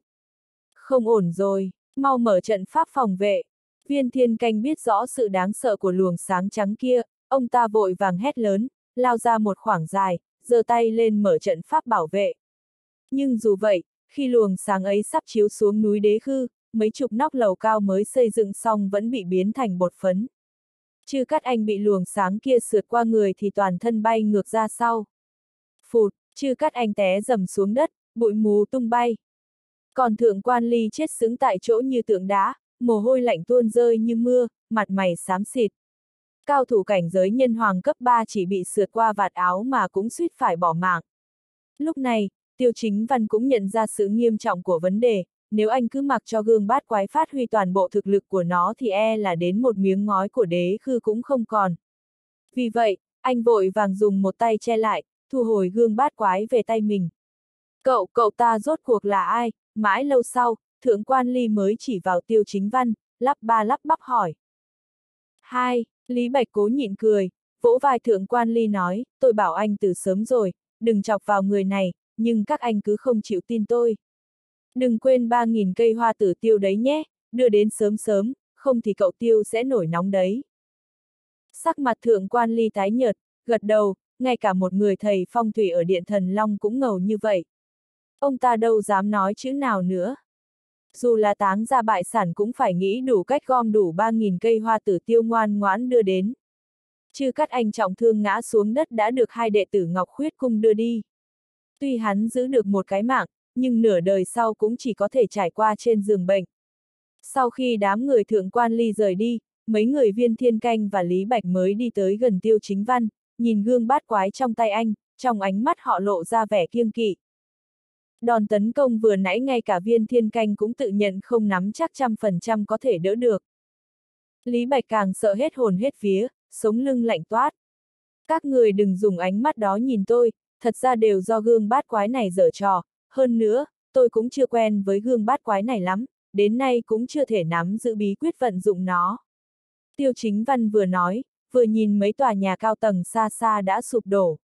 Thật ra điều này đủ để nói lên lúc này tiêu chính văn chưa thể vận dụng thuần thục, nếu không, mấy tòa nhà cao tầng kia cũng sẽ không bị san thành đất bằng phẳng rồi. Đó là những tòa nhà anh cố ý xây để di chuyển dân chúng thế tục đến, tốn không ít công sức. Sốt cuộc gương bát quái này có lai lịch thế nào, giờ phút này viên thiên canh cũng chú ý tới gương bát quái trong tay tiêu chính văn, cau mày hỏi. Cho dù là đạo thuật trí tôn như ông ta, cũng không làm ra được gương bát quái lợi hại như vậy. Thật ra cái này là tôi vừa chiếm được từ tay người nhà họ tư mã mấy ngày trước, nghe nói là di vật năm đó khổng minh để lại. Vừa nói, tiêu chính văn nhìn sang viên thiên canh. Ồ, thế thì khó trách, năm đó khổng minh có thể gây nên sóng gió ở thời Tam Quốc, cũng bởi thiên phú đạo thuật của ông ta, khổng minh để lại tổng cộng 3 món bảo vật, một là gương bát quái càn khôn, một là quạt lông phong lôi, còn một cái là xe hiên viên. Tin rằng trong tay cậu chính là gương càn khôn bát quái. Thuộc hạ cũng biết rất ít về bảo vật này, chỉ biết là khổng minh tài năng, khéo léo tuyệt vời, sự ảo diệu của gương bát quái này lại càng vô cùng vô tận. Viên thiên canh không kiềm được thở dài. Bảo vật thế này là thứ mà những người trong giới đạo thuật cả đời mong muốn có được, chỉ tiếc rằng bản thân lại không có duyên phận với nó. Bên trong gương bát quái của khổng minh có ra một con rồng thật. Chẳng qua là một con rồng con, không phải rồng trưởng thành, có điều trải qua mấy ngàn năm, hẳn con rồng kia cũng đã trưởng thành rồi. Lúc ấy, giọng nói của Bạch Ngọc Trinh từ xa truyền tới. Cái gì? Cả người Lý Bạch cũng kinh sợ ngây dại, ra một con rồng con vào gương bát quái, ra Cát Khổng Minh này thật đúng là người trong đầu chứa toàn những suy nghĩ vi diệu. Bất kể là con rồng con hay rồng lớn, trung quy cũng là một con rồng. Uy lực của rồng kinh trời, không gì sánh được. Có thể nói rồng mới là sinh vật cổ xưa chân chính đứng từ cao nhìn xuống vạn vật trên thế giới. Thậm chí vài trăm ngàn năm trước, rồng mới là con vật thống trị chân chính của thế giới này, mà trước mặt rồng, cường giả loài người cũng chỉ là tay sai mà thôi. Trong thời kỳ thượng cổ hồng hoang, ngay cả cao thủ cảnh giới nhân vương, nhân hoàng cũng chỉ như người bình thường, có thể tưởng tượng được, sự oai phong của rồng đạt đến sự đáng sợ thế nào. Ý cô là trong gương bát quái này có dấu rồng thật, nên mới có thiên uy kinh khủng đó, tiêu chính văn hơi cau mày nói. Bạch Ngọc Trinh gật đầu, vừa liếc nhìn tòa nhà bị phá hủy nói, oai phong của rồng, thực sự mạnh như thiên thần là có công của tạo hóa. Mà chùm ánh sáng trắng mới vừa rồi chỉ là ánh mắt của rồng được khúc xạ xuyên qua gương bát quái mà thôi. Cái gì, chỉ là một ánh mắt của rồng thật, cả người Lý Bạch cũng sắp nổ tung. Thế này còn mạnh hơn chuyện nhìn ai người nấy mang bầu hơn trăm triệu lần. Tùy tiện khúc xạ một ánh mắt đã phá hủy mấy chục ngọn núi cao, trên trăm tông môn, hơn nữa, ngay cả đại trận bảo vệ của đế khư cũng bị hư hại nghiêm trọng, thật là kinh khủng. Thế thì kỳ lạ, năm đó khổng minh có bảo vật này, sao lại thua trước nhà họ tư mã chứ, Lý Bạch không hiểu nổi, lắc đầu nói. Dựa vào uy lực mà gương bát quái thể hiện ra khi nãy, đừng nói mấy trăm nghìn quân, dù là cả tỷ quân cũng không thể chịu nổi đòn này. Không kỳ lạ, ánh mắt Bạch Ngọc Trinh sâu thẳm giải thích, đây là thiên mệnh. Nói cách khác, nhà họ tư mã được trời xanh yêu ái, dù khổng minh có dị bảo trong tay cũng không cách nào phát huy ra uy lực thực sự. Nếu không, rõ ràng ông ta có xe hiên viên, sao lại bệnh chết ở trong quân doanh? Bệnh chết, tôi thấy chưa chắc đâu, Lý Bạch nhíu mày lại nói. Dĩ nhiên, bị hạ độc chết cũng coi như một loại bệnh chết, bất kể nguyên nhân gì cũng là ông ta chết oan uổng, bị người tín nhiệm nhất hạ độc chết đã nói lên thiên mệnh không đứng về phía ông ta, mà đứng về phía nhà tư mã kia, Bạch Ngọc Trinh cảm thấy tiếc hận nói. Ý cô là Dương Nghi đầu độc khổng minh, kết luận này hơi đánh vỡ vốn hiểu biết của tiêu chính văn. Theo lý ra cát khổng minh có ơn đối với Dương Nghi, bất kể về công về tư, Dương Nghi cũng không có lý do làm như vậy. Đúng, thật ra Dương Nghi cũng là người nhà họ khổng, chẳng qua là bị phái đến bên cạnh khổng minh giám sát ông ta mà thôi, cho nên sau khi khổng minh chết, hắn mới có thể dẫn dắt ngụy Duyên mưu phản. Nhân tính của môn sinh nhà họ khổng không cần nhiều lời, đương nhiên anh Tiêu đã lĩnh hội sâu sắc, Bạch Ngọc Trinh cũng không muốn phí lời với chuyện này. Hừ, người nhà họ khổng thật sự mỗi đời chỉ có một người nối dõi sao, thời xưa có khổng khâu lấy tên Chu Du, vẽ ra bản đồ quân phòng của nước lỗ, bán nước cầu quan, bây giờ có Dương Nghi vong ân phụ nghĩa, hạ độc giết ra cát khổng minh. Lý Bạch nói đến đây, không nhịn được cắn răng. Thật ra, dù sau chuyện này, Dương Nghi bị người khác đoán được, nhưng cái chết của hắn lại đổi lấy Giang Sơn Đại Tùy cho nhà họ Dương. Viên Thiên Canh nheo mắt lại, vẻ mặt nghiêm trọng nói. Căn cứ hiểu biết của Viên Thiên Canh, Dương Nghi chính là tổ tiên của Dương Quảng, hơn nữa Đại Tùy cuối cùng cũng là bị người nhà họ khổng tiêu diệt. Dương Kiên lại là mang tiếng xấu thiên cổ, thành bạo quân giống như trụ vương, mà thực tế, tuy Dương Kiên không thể được gọi là hoàng đế thiên cổ, cũng tuyệt đối là đế vương thiên cổ một lòng ôm chí lớn. Do đó nhà họ khổng thật đúng là không đơn giản, mấy ngàn năm qua, một mực điều khiển sự hưng suy của vương triều tiêu chính văn cảm khái nói. Thật may trong giới chính trị Hoa Quốc ngày nay đã không có môn sinh nhà họ khổng, dù có cũng sẽ bị thiên tử tiêu diệt toàn bộ hầu như không còn. Bất kể thế nào, gương bát quái này có duyên với anh tiêu dù sao cũng là một chuyện tốt, tốt hơn nhiều so với để nó rơi vào tay người xấu, làm hại chúng sinh, Bạch Ngọc Trinh mỉm cười nói. Có món bảo vật này, anh tiêu lại như hổ thêm cánh, ngược lại mặt viên thiên canh đầy vẻ hâm mộ. Thật ra ông ta cũng biết, chỉ cần ông ta mở lời xin, nhất định tiêu chính văn sẽ đưa gương bát quái này cho ông ta, nhưng viên thiên canh tự biết mình biết ta. Ai có thể có được gương bát quái tất nhiên là có phúc duyên thâm hậu với nó, nếu không tuyệt đối không thể nào từ nhà họ tư mã lại lưu lạc đến tay tiêu chính văn. Chính vì giữa ép xanh không ngọt, dù ông ta lấy được gương bát quái cũng chưa chắc có thể phát huy ra uy lực bực này, ngược lại là phí của trời. 2. Tôi không có hứng thú với đạo thuật, cũng không có nghiên cứu gì, chỉ bằng, không đợi tiêu chính văn mở miệng, viên thiên canh đã khoát tay nói, cậu tiêu, những người tu học đạo thuật như chúng tôi, đầu tiên phải nói đến chữ duyên, nếu tôi không có duyên với vật này, dù cưỡng ép giao cho tôi cũng không thể phát huy uy lực của nó. Nghe nói như vậy, tiêu chính văn cũng sửng sốt, ngay sau đó gật đầu, cất gương bát quái vào. Cậu tiêu, nếu như có thể thu góp ba di vật của khổng minh, tin rằng sẽ có trợ giúp rất lớn đối với việc mở ra di tích long tộc, nếu năm đó khổng minh không vào di tích long tộc, vậy con rồng con trong gương bát quái này từ đâu ra? Viên thiên canh vừa nhắc như vậy, tiêu chính văn cũng bừng tỉnh hiểu ra. Không sai, tất nhiên khổng minh biết bí mật của long tộc, tiêu chính văn cũng nói hết sức chắc chắn. Theo tôi biết, quạt phong lôi vũ không hề có ở đông vực, mà là trong giáo đình hắc ám ở Tây Vực, vẻ mặt Bạch Ngọc Trinh trầm ngâm giải thích. Sao di vật của khổng minh lại lưu lạc đến Tây Vực, tiêu chính văn cảm thấy khó hiểu. Chuyện này cũng không biết được, nhưng đúng là có người từng nhìn thấy thứ này ở giáo đình hắc ám. Giáo đình hắc ám cũng không tốt vậy đâu, Bạch Ngọc Trinh nhíu mày lại nói. Giáo đình hắc ám, tiêu chính văn hơi cao mày nói, chẳng lẽ là nơi phù thủy xây dựng thế lực trong truyền thuyết phương Tây. Bạch Ngọc Trinh khẽ lắc đầu nói, anh tiêu, giáo đình hắc ám không liên quan đến phương Tây, nói chính xác bọn họ không có chút quan hệ nào với người Âu Lục. Cái gọi là hắc ám cũng cũng không phải là ý tà ác, mà là mặt khác của hình thái cực âm dương. Người Tây từ xưa, ăn sống nuốt tươi, có giáo dục. Từ thời Đại Minh Trịnh Hòa, đạo thuật của Hoa Quốc ta đã truyền vào đất Tây. Nhưng khi đó, người Tây còn ngưỡng mộ nền văn minh sáng chói của Hoa Quốc ta, cho tới sau này, bọn họ bắt đầu có dã tâm, hơn nữa, một người tên là Napoleon đã chinh phục toàn bộ Âu Lục.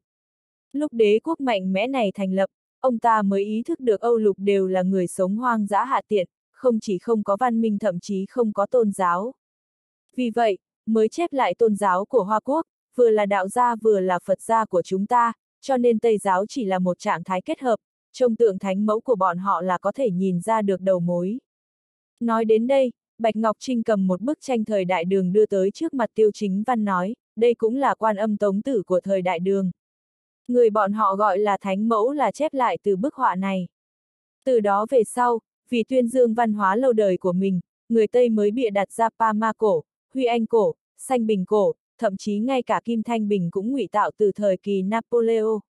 Cho nên, tấn công giáo đình hắc ám chẳng khác nào đánh nhau với đạo thuật gia từ thời kỳ thượng cổ của Hoa Quốc cả, có thể thấy nguy hiểm là như nhau. Bạch Ngọc Trinh nói tới đây, vẻ mặt cũng biến thành trầm ngâm. Để giải đáp bí mật của di tích Long tộc, núi đào biển lửa cũng phải xông vào một lần, trước đó phải tăng thực lực lên cho mọi người, sau đó chờ cơ hội đoạt lại quạt phong lôi vũ. Vẻ mặt tiêu chính văn vô cùng kiên định nói. Cái gì, tấn công giáo đình hắc ám, giành lại quạt phong lôi vũ, ngay cả sắc mặt Trần Huy Tổ cũng chợt biến đổi. Nhưng giây kế tiếp, trên mặt Trần Huy Tổ lại tràn đầy vẻ hưng phấn nói, quả nhiên tiền bối trương nói không sai, đi theo cậu tiêu, mới có thể thi triển hết những gì tôi đã học. Mà giờ phút này, toàn bộ đông vực cũng lâm vào trong sự tranh luận dữ dội. Dẫu sao hôm nay nhà họ Khổng và nhà họ Tư Mã đã cùng rơi vào bẫy của Tiêu Chính Văn, thậm chí bốn vị cường giả đế cảnh đều xuất hiện, kết quả vẫn bị Tiêu Chính Văn chèn ép. Cuối cùng phải dùng tiền chuộc cách xù mới bảo vệ được tính mạng. Đều càng khiến bốn phương náo động là vì thế nhà Azin Zoro còn dâng thiên ấn của Vũ Vương ra. Chuyện này là lần đầu được chứng kiến trong lịch sử Đông Vực. Mấy ngàn năm qua, đừng nói thế tục, dù là các thế lực lớn vốn có ở Đông Vực cũng không ai có thể ép nhà Aizin Zoro nộp thiên ấn của Vũ Vương với Hoa Quốc chính thống. Mà thế tục là gì chứ? Ở trong mắt các phe vùng ngoài lãnh thổ, thế tục là con kiến hôi có thể bị bọn họ tùy ý đùa bỡn trong lòng bàn tay. Nhưng hôm nay, tiêu chính văn lại hoàn toàn phá vỡ định kiến của tất cả mọi người về thế tục. Xem ra bầu trời ở đông vực sắp biến đổi rồi. Bốn vị cao thủ đế cảnh lại chịu thua thiệt rất lớn ở Điện Thần Long. Rốt cuộc tiêu chính văn này có lai lịch gì, lại có thể mời được Trương Nghi rời núi vì cậu ta. Nhất thời, tiếng bàn luận nổi lên khắp bốn phía. Nhưng tất cả mọi người gần như đồng thời ý thức được một chuyện, đó là thế cục của Đông sẽ bị phá vỡ hoàn toàn. Sợ rằng rất nhanh sẽ có vở kịch hay diễn ra ở Đông Vực. Nhà họ khổng tuyệt đối sẽ không mặc cho tiêu chính văn khuếch đại thế lực ở Đông Vực, tiêu chính văn lại có quan hệ khá thân với nhà họ Bạch và nhà họ Doanh, nhà họ võ lại trắng trợn ủng hộ tiêu chính văn, liệu nhà họ khổng sẽ xử lý thế nào đây?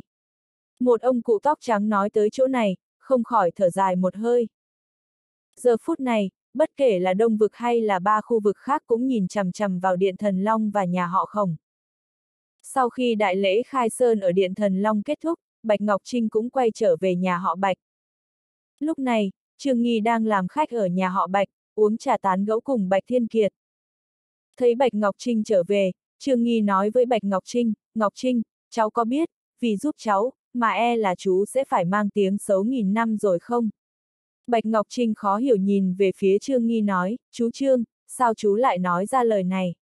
Chuyện hôm nay, chẳng phải chú đã dự tính từ trước rồi sao?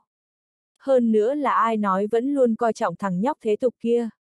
Còn không phải vì nghe lời chú, cháu mới giúp anh ấy như thế sao? Bạch Ngọc Trinh trực tiếp trả đũa, khiến Trương Nghi ngửa mặt phá lên cười. Miệng lưỡi con bé này thật là sắc bén quá. Có điều, hôm nay động tĩnh hơi lớn, không chỉ Đông Vực đang chú ý chuyện này, ngay cả ba khu vực khác cũng đều đang nhìn cử động kế tiếp của nhà họ Khổng và Điện Thần Long. Người của Tiêu Chính Văn khiến tên tiểu nhân tần cối này bị thương, tin rằng nhà họ Khổng sẽ không bỏ qua, hơn nữa, nhìn bề ngoài là một mình Tiêu Chính Văn chiến thắng nhà họ Khổng, thực ra cậu ấy là đại diện mà các thế gia chúng ta cử ra. Chuyện này, phía nhà họ Chu đã có dị nghị, đề nghị chúng ta bước kế tiếp không nên dính vào quá nhiều.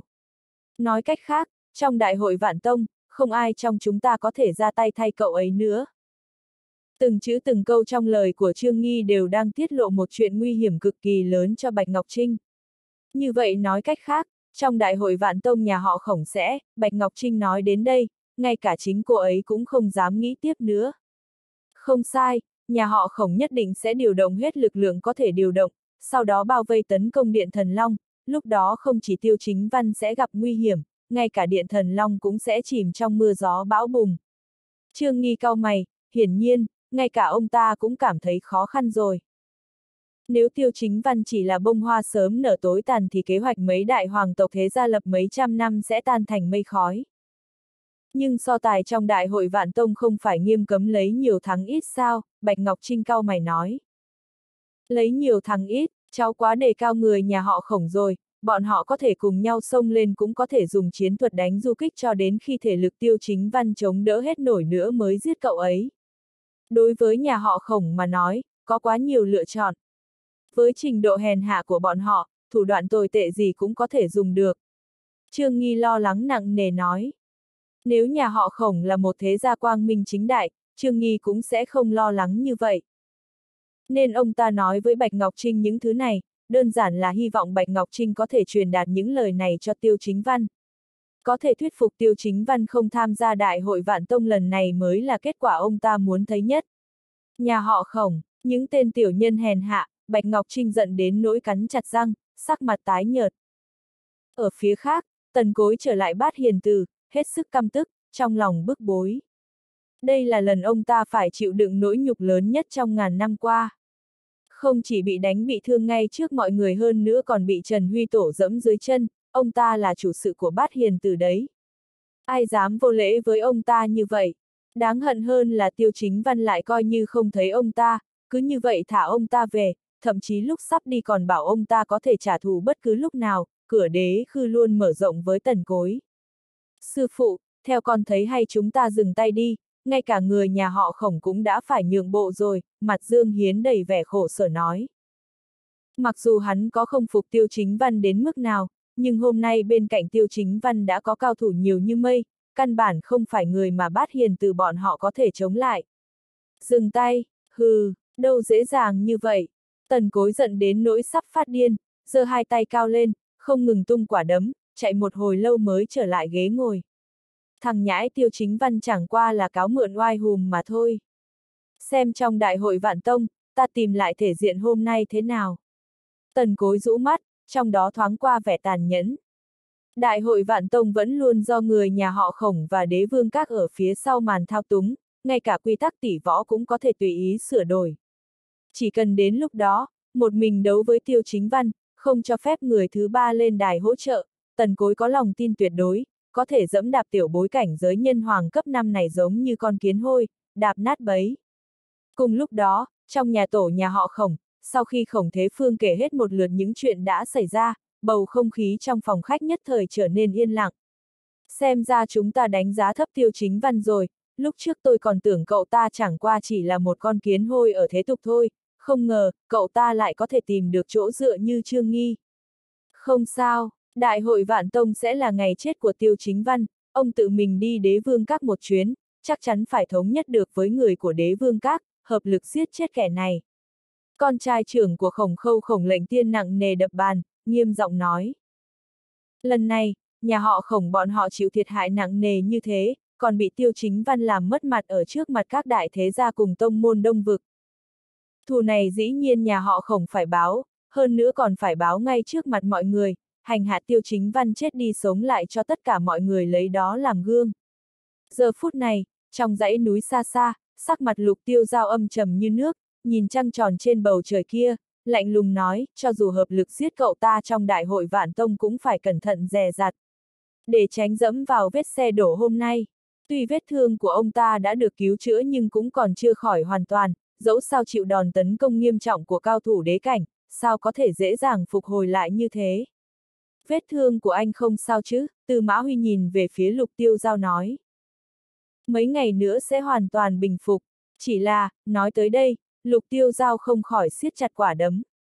Ông ta hoàn toàn không ngờ, Trần Huy Tổ vẫn luôn bị ông ta xem thường, lại là một vị cao thủ đế cảnh, chuyện này quá là ngoài tầm tính toán của ông ta. Hơn nữa, với thực lực của Trần Huy Tổ mà nói, sau này bất kể là danh tiếng hay địa vị đều sẽ vượt xa ông ta, đây mới là tảng đá lớn đè trong lòng ông ta. Thật ra Trần Huy Tổ mới thật sự là hòn đá ngáng đường, đại hội vạn tông không giống như lúc trước, cho dù Trương Nghi và nhà họ doanh muốn giúp tiêu chính văn, cũng không dám trắng trợn trợ giúp. Nếu không, ắt sẽ trở thành đối tượng công kích của Đông Vực. Tư Mã Huy nói rất tự tin. Nếu không có sự tương trợ của Trương Nghi, chỉ dựa vào thực lực của Điện Thần Long sao có thể là đối thủ của bọn họ. Người này tuyệt đối không thể coi thường, có thể khiến Trần Huy Tổ và Viên Thiên Canh đi theo cậu ta không một câu oán hận, trong này nhất định có gì ẩn khuất. Vì vậy, chúng ta tuyệt đối không được khinh thường. Hứa Thương Long cũng thở dài một hơi nói. Bất kể cậu ta là ai, cũng không thể dựa vào sức một mình đối đầu với toàn bộ đông vực, yên tâm đi, nhà họ khổng sẽ không thể bỏ qua cho tiêu chính văn. Hôm nay, cậu ta không chỉ làm chúng ta mất mặt, còn đắc tội nặng nề với nhà họ khổng nữa. Tư Mã Huy cười nhạt nói. Nếu có thể nghĩ cách đối phó với Trần Huy Tổ và Viên Thiên Canh thì giết tiêu chính văn sẽ dễ dàng hơn nhiều, chỉ là hai người này không dễ đối phó chút nào, lục tiêu giao cao mày nói. Dẫu sao trong đại hội vạn tông, cho dù cố ý nhắm vào tiêu chính văn cũng không thể thực hiện quá lộ liễu, nếu không ắt sẽ bị mọi người lên án. Lục tiêu giao cũng không muốn làm chuyện khiến người ta đàm tiếu. Không chỉ làm tổn hại đến danh tiếng mà còn ảnh hưởng vô cùng lớn đối với tiền đồ sau này của ông ta. 2. Đáng tiếc không thể gọi đại đế từ chiến trường vùng ngoài vũ trụ trở về ngay lập tức, nếu không dù chỉ có một vị đại đế cũng có thể khiến bọn chúng trở thành thịt vụn chỉ bằng một lần nhấc tay. Ánh mắt từ mã huy âm trầm nói. Cường giả đế cảnh cũng phân cấp, từ đế cảnh cấp 1 đến cấp 3 chỉ là giai đoạn sơ cấp mà thôi. Từ đế cảnh cấp 4 đến cấp 6 mới có thể được gọi là đại đế, mà đế quân là cường giả đế cảnh từ cấp 7 đến cấp 9. Dựa vào số thành viên nòng cốt của Điện Thần Long bây giờ, một đại đế rời núi cũng đủ để xóa Điện Thần Long khỏi đông vực. Theo tôi biết, đông vực chúng ta có một vị đại đế chấn giữ, chẳng lẽ lục tiêu giao nhíu mày lại, nghi ngờ nhìn về phía tư mã huy. Hai, chuyện này không nhắc tới thì thôi, vị đại đế ở lại chấn giữ kia xảy ra chút chuyện ngoài ý muốn, nay đã không thể tự bảo vệ mình, càng không thể chiếu cố người khác nữa. Được rồi, chuẩn bị sớm đi, thừa dịp điện thần long còn chưa đứng vững, mau chóng diệt trừ, nếu không, chờ điện thần long đứng vững ở vùng ngoài lãnh thổ, sợ rằng đông vực cũng sẽ bị bọn chúng làm loạn đến mức long trời lở đất. Tư Mã Huy trầm giọng nói. Ông ta đã trải qua mấy ngàn năm, hiểu biết đối với vùng ngoài lãnh thổ hiển nhiên mạnh hơn so với đám người lục tiêu giao gấp trăm lần. Bất kỳ thế lực lớn nào quật khởi cũng sẽ gây nên trận chiến đẫm máu, hơn nữa trong quá trình này sẽ có bao nhiêu thế lực cũ bị ảnh hưởng, bị xóa sổ, tất cả đều là ẩn số. Tiêu chính văn mạnh như thế, điện thần long quật khởi nhất định sẽ càng nhiều máu tanh hơn so với bất kỳ một thế lực lớn nào quật khởi trước đây. Mấu chốt nhất là tiêu chính văn đến từ giới thế tục, Ân oán giữa vùng ngoài lãnh thổ và thế tục đã kéo dài mấy ngàn năm, một khi thế tục và vùng ngoài lãnh thổ quyết toán nợ nần thì hậu quả khó mà tưởng nổi.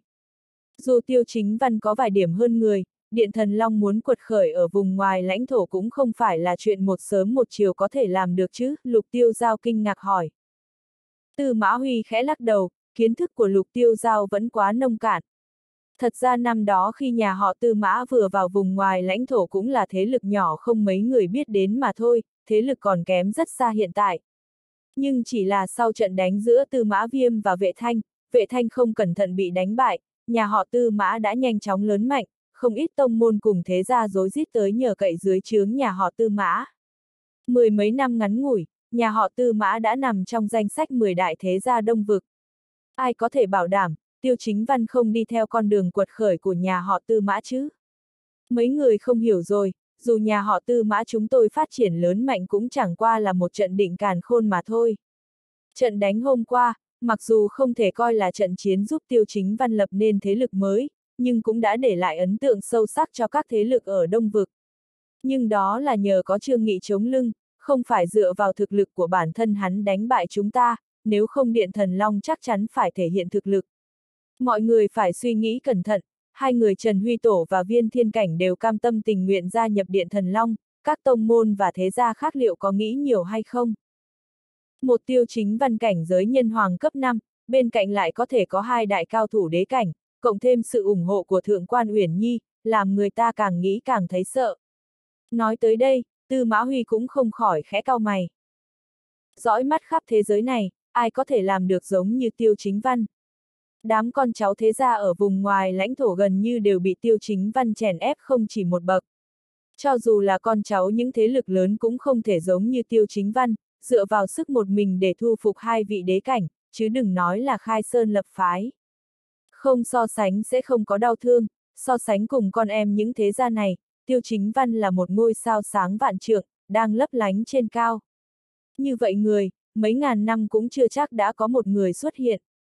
Nghe xong lời này của Tư Mã Huy, tất cả mọi người đều chấn động, hai người lục tiêu giao và hứa thương long lại mang vẻ mặt phức tạp. Giờ phút này, bọn họ không thừa nhận cũng không được, cũng đã hơi hối hận vì không đồng ý lời mời của tiêu chính văn. Cho nên, bắt buộc phải tiêu diệt cậu ta trước khi cậu ta có lông cánh đầy đủ, Tư Mã Huy lạnh lùng nói. Bên phía Điện Thần Long cũng vì trận đánh với nhà họ Tư Mã và nhà họ Khổng lúc trước, đã có thu hoạch rất phong phú, tuy chút thực lực này còn không thể so sánh cùng những đại thế gia kia, nhưng cũng coi như thuộc vị trí trung bình rồi.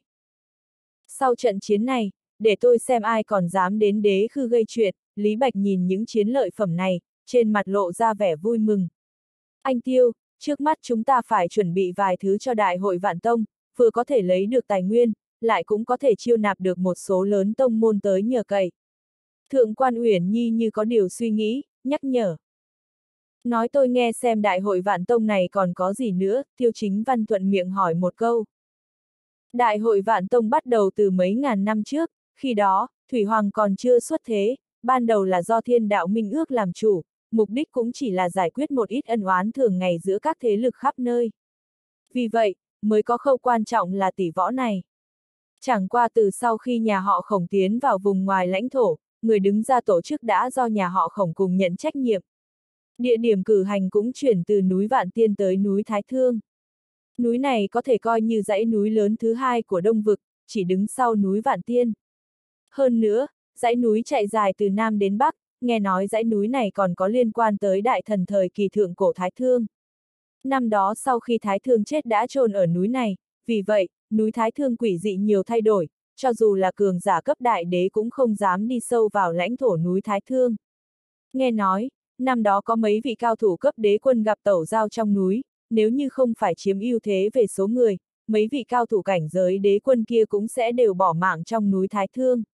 Ồ, tẩu giao, đó không phải là một chủng của long tộc sao, tiêu chính văn khẽ cao mày nói.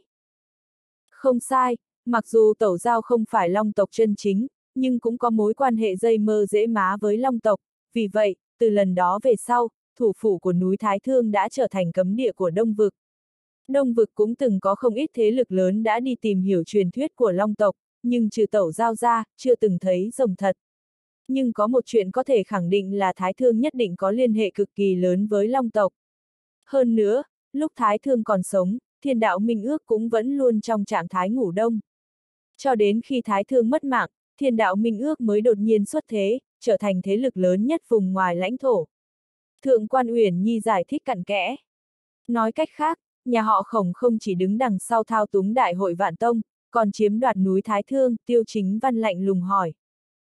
Không sai, đây cũng là nguyên nhân quan trọng khiến nhà họ khổng ngàn năm gần đây luôn có thể bồi dưỡng ra được những anh hào trẻ tuổi.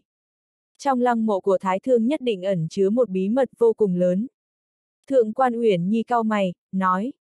Kể từ khi nhà họ khổng chiếm đoạt được núi Thái Thương, người tài đã xuất hiện rất nhiều, điều này không khỏi khiến người khác nảy sinh ra nhiều liên tưởng khác nhau. Đặc biệt là ngôi mộ của Thái Thương, ngoại trừ người của nhà họ khổng ra, những người khác căn bản đều khó có thể tới gần. Ừ, tôi hiểu rồi. Tiêu chính văn khẽ gật đầu, nói với đám người long hình, các cậu cũng đi chuẩn bị một chút, đi cùng tôi đến đại hội vạn tông. Rõ, đám người long hình đáp lại một tiếng rồi đứng dậy trở về đế khư. Dù sao, đại hội vạn tông là một có hội hiếm có, đám người long hình chỉ tu luyện sau cánh cửa đóng kín, rất khó để nâng cao cảnh giới và nhãn giới, mà đại hội vạn tông lần này chính là một cơ hội không tồi. Mười ngày sau, dưới chân núi Thái Thương đã đông nghịt người, toàn bộ đông vực, các môn phái lớn nhỏ và con em các thế gia đều tề tựu ở đây. Suy cho cùng, Đại hội Vạn Tông là cơ hội tuyệt vời để tất cả các môn các phái thể hiện tài năng, ngay cả những đệ tử mới nhập môn cũng muốn đến xem náo nhiệt. Cho dù biết rõ bản thân không có duyên với người đứng đầu, nhưng lộ mặt cũng tốt hơn, ngộ nhỡ được các thế lực lớn kia nhìn chúng, nói không chừng có thể một bước lên mây. Mà trong số bọn họ, người thực sự có khả năng giành chức vô địch cũng chỉ có một số ít nhân tài trong số mấy thế lực lớn mà thôi. Không ít đệ tử của đại gia tộc lần lượt được mời lên nội viện của núi Thái Thương, mà những người còn lại chỉ có thể bị chặn lại dưới chân núi, đứng quan sát từ xa mà thôi. Dù gì, dưới núi có cường giả đế cảnh chấn giữ, mặc dù trong lòng mọi người đều có phần trách móc nhưng cũng chỉ tức giận chứ không dám nói ra. Đúng lúc này, đám người tiêu chính văn cũng từ từ tiến đến chân núi, cùng với sự xuất hiện của tiêu chính văn, rất nhiều môn phái nhỏ và con em thế gia đều tự động tránh ra một lối đi. Vài tên đệ tử nhà họ khổng duy trì trật tự dưới chân núi nhìn về phía tiêu chính văn. Một gã đàn ông mặc áo đen trong số đó bước lên trước, giơ tay chặn viên thiên canh và Trần Huy Tổ lại, nói, xin lỗi, hai vị không thể tiến vào núi Thái Thương. Cậu có ý gì? Sắc mắt Trần Huy Tổ trầm xuống, lạnh lùng hỏi. Nếu tôi không nhầm thì hai vị chắc có lẽ đều là cao thủ đế cảnh đúng không? Đại hội Vạn Tông lần này hơi đặc biệt, nếu cao thủ đế cảnh tiến vào núi Thái Thương, sợ rằng sẽ gây ra hiện tượng lạ ở núi Thái Thương, vì thế, tốt nhất là hai vị đứng ngoài cửa. Vừa nói, gã đàn ông áo đen kia chuyển tầm mắt về phía tiêu chính văn. Hiện tượng lạ, thượng quan Uyển Nhi không khỏi cau mày, nói, nhiều lần đại hội vạn tông trước đây đều có cao thủ đế cảnh tham gia, tại sao lần này đột nhiên lại không cho phép cao thủ đế cảnh vào nữa?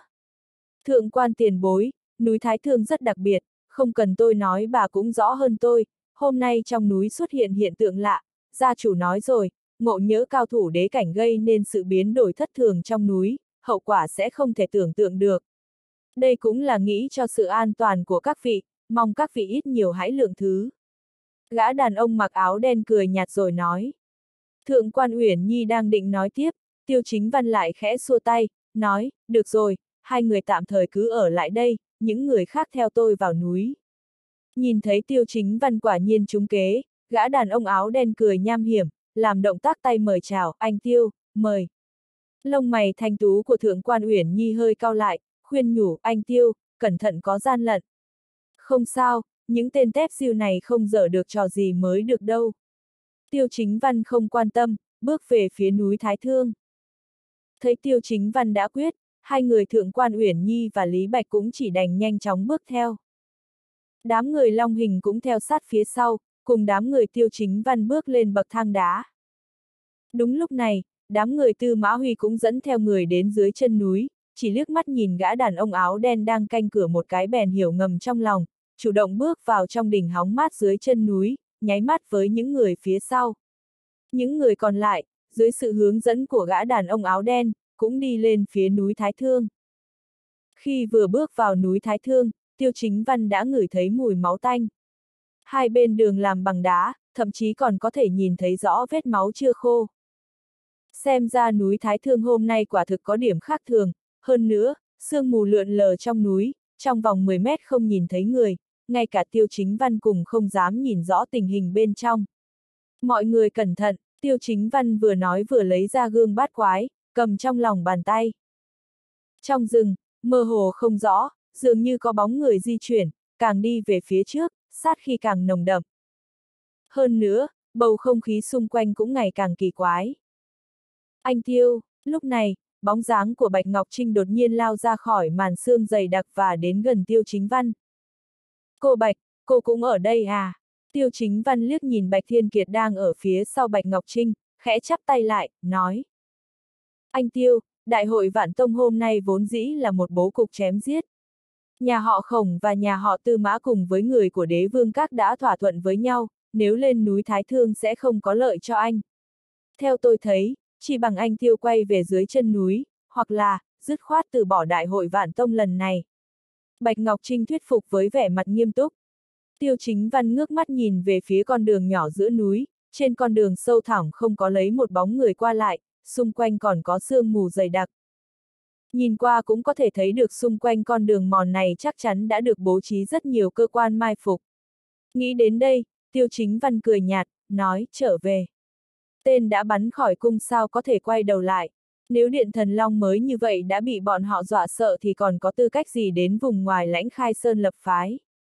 Mục tiêu của bọn họ chắc chỉ có một mình tôi, các cậu có thể chia ra hành động, mọi người tập hợp trên đỉnh núi. Nghe vậy, Bạch Ngọc Trinh không nhìn được mà hít một hơi thật sâu, anh Tiêu, tuyệt đối không nên. Đại hội Vạn Tông lần này, nhà họ Khổng đã lấy ra 6 viên Thiên Châu, nơi cất giấu bảo vật chính là vách đá vọng thiên. Với cách hành sự của nhà họ Khổng, những bảo vật như vậy sao có thể rơi vào tay người ngoài. Nhất định đã bố trí rất nhiều mai phục xung quanh. Ồ, tiêu chính văn không nhịn được mà cười nói, sáu viên thiên châu, thứ mà cô Bạch nói chắc là giao chỉ Minh Nguyệt Châu đúng không? Trong thiên sơn thư lục, ghi chép về thiên châu chỉ có ba loại, trong đó một loại là giao chỉ Minh Nguyệt Châu, đối với cao thủ cảnh giới nhân hoàng, loại thiên châu này giúp nâng cao sức chiến đấu, có lợi ích cực lớn. Đó cũng chính là vật mà tiêu chính văn đang rất cần, không ngờ nhà họ khổng lại hào phóng đến vậy, một lần lấy ra sáu viên. Không sai, nhưng theo tôi biết, đây là quà tặng lại cho đế vương các phối hợp hành động với nhà họ khổng, sẽ không dễ dàng có được đâu, Bạch Ngọc Trinh vội vàng giải thích. Không thành vấn đề, bảo vật của trời đất từ trước đến nay đều nằm trong tay người có đức. Nếu nhà họ khổng đã hào phóng như vậy, chúng ta cũng không thể phủ ý tốt của bọn họ.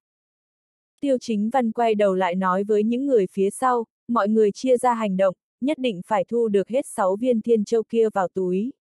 Long Vương, nhưng anh, không chờ Long Nguyệt nói hết, tiêu chính văn đã xua tay, nói tôi tự có cách, không cần lo cho tôi, các cậu cứ việc đi giành lấy thiên châu là được. Nói xong, tiêu chính văn khẽ chắp tay về phía hai anh em nhà họ Bạch, giây tiếp theo, thân hình anh lóe lên, lập tức xuất hiện ở cách xa trăm mét.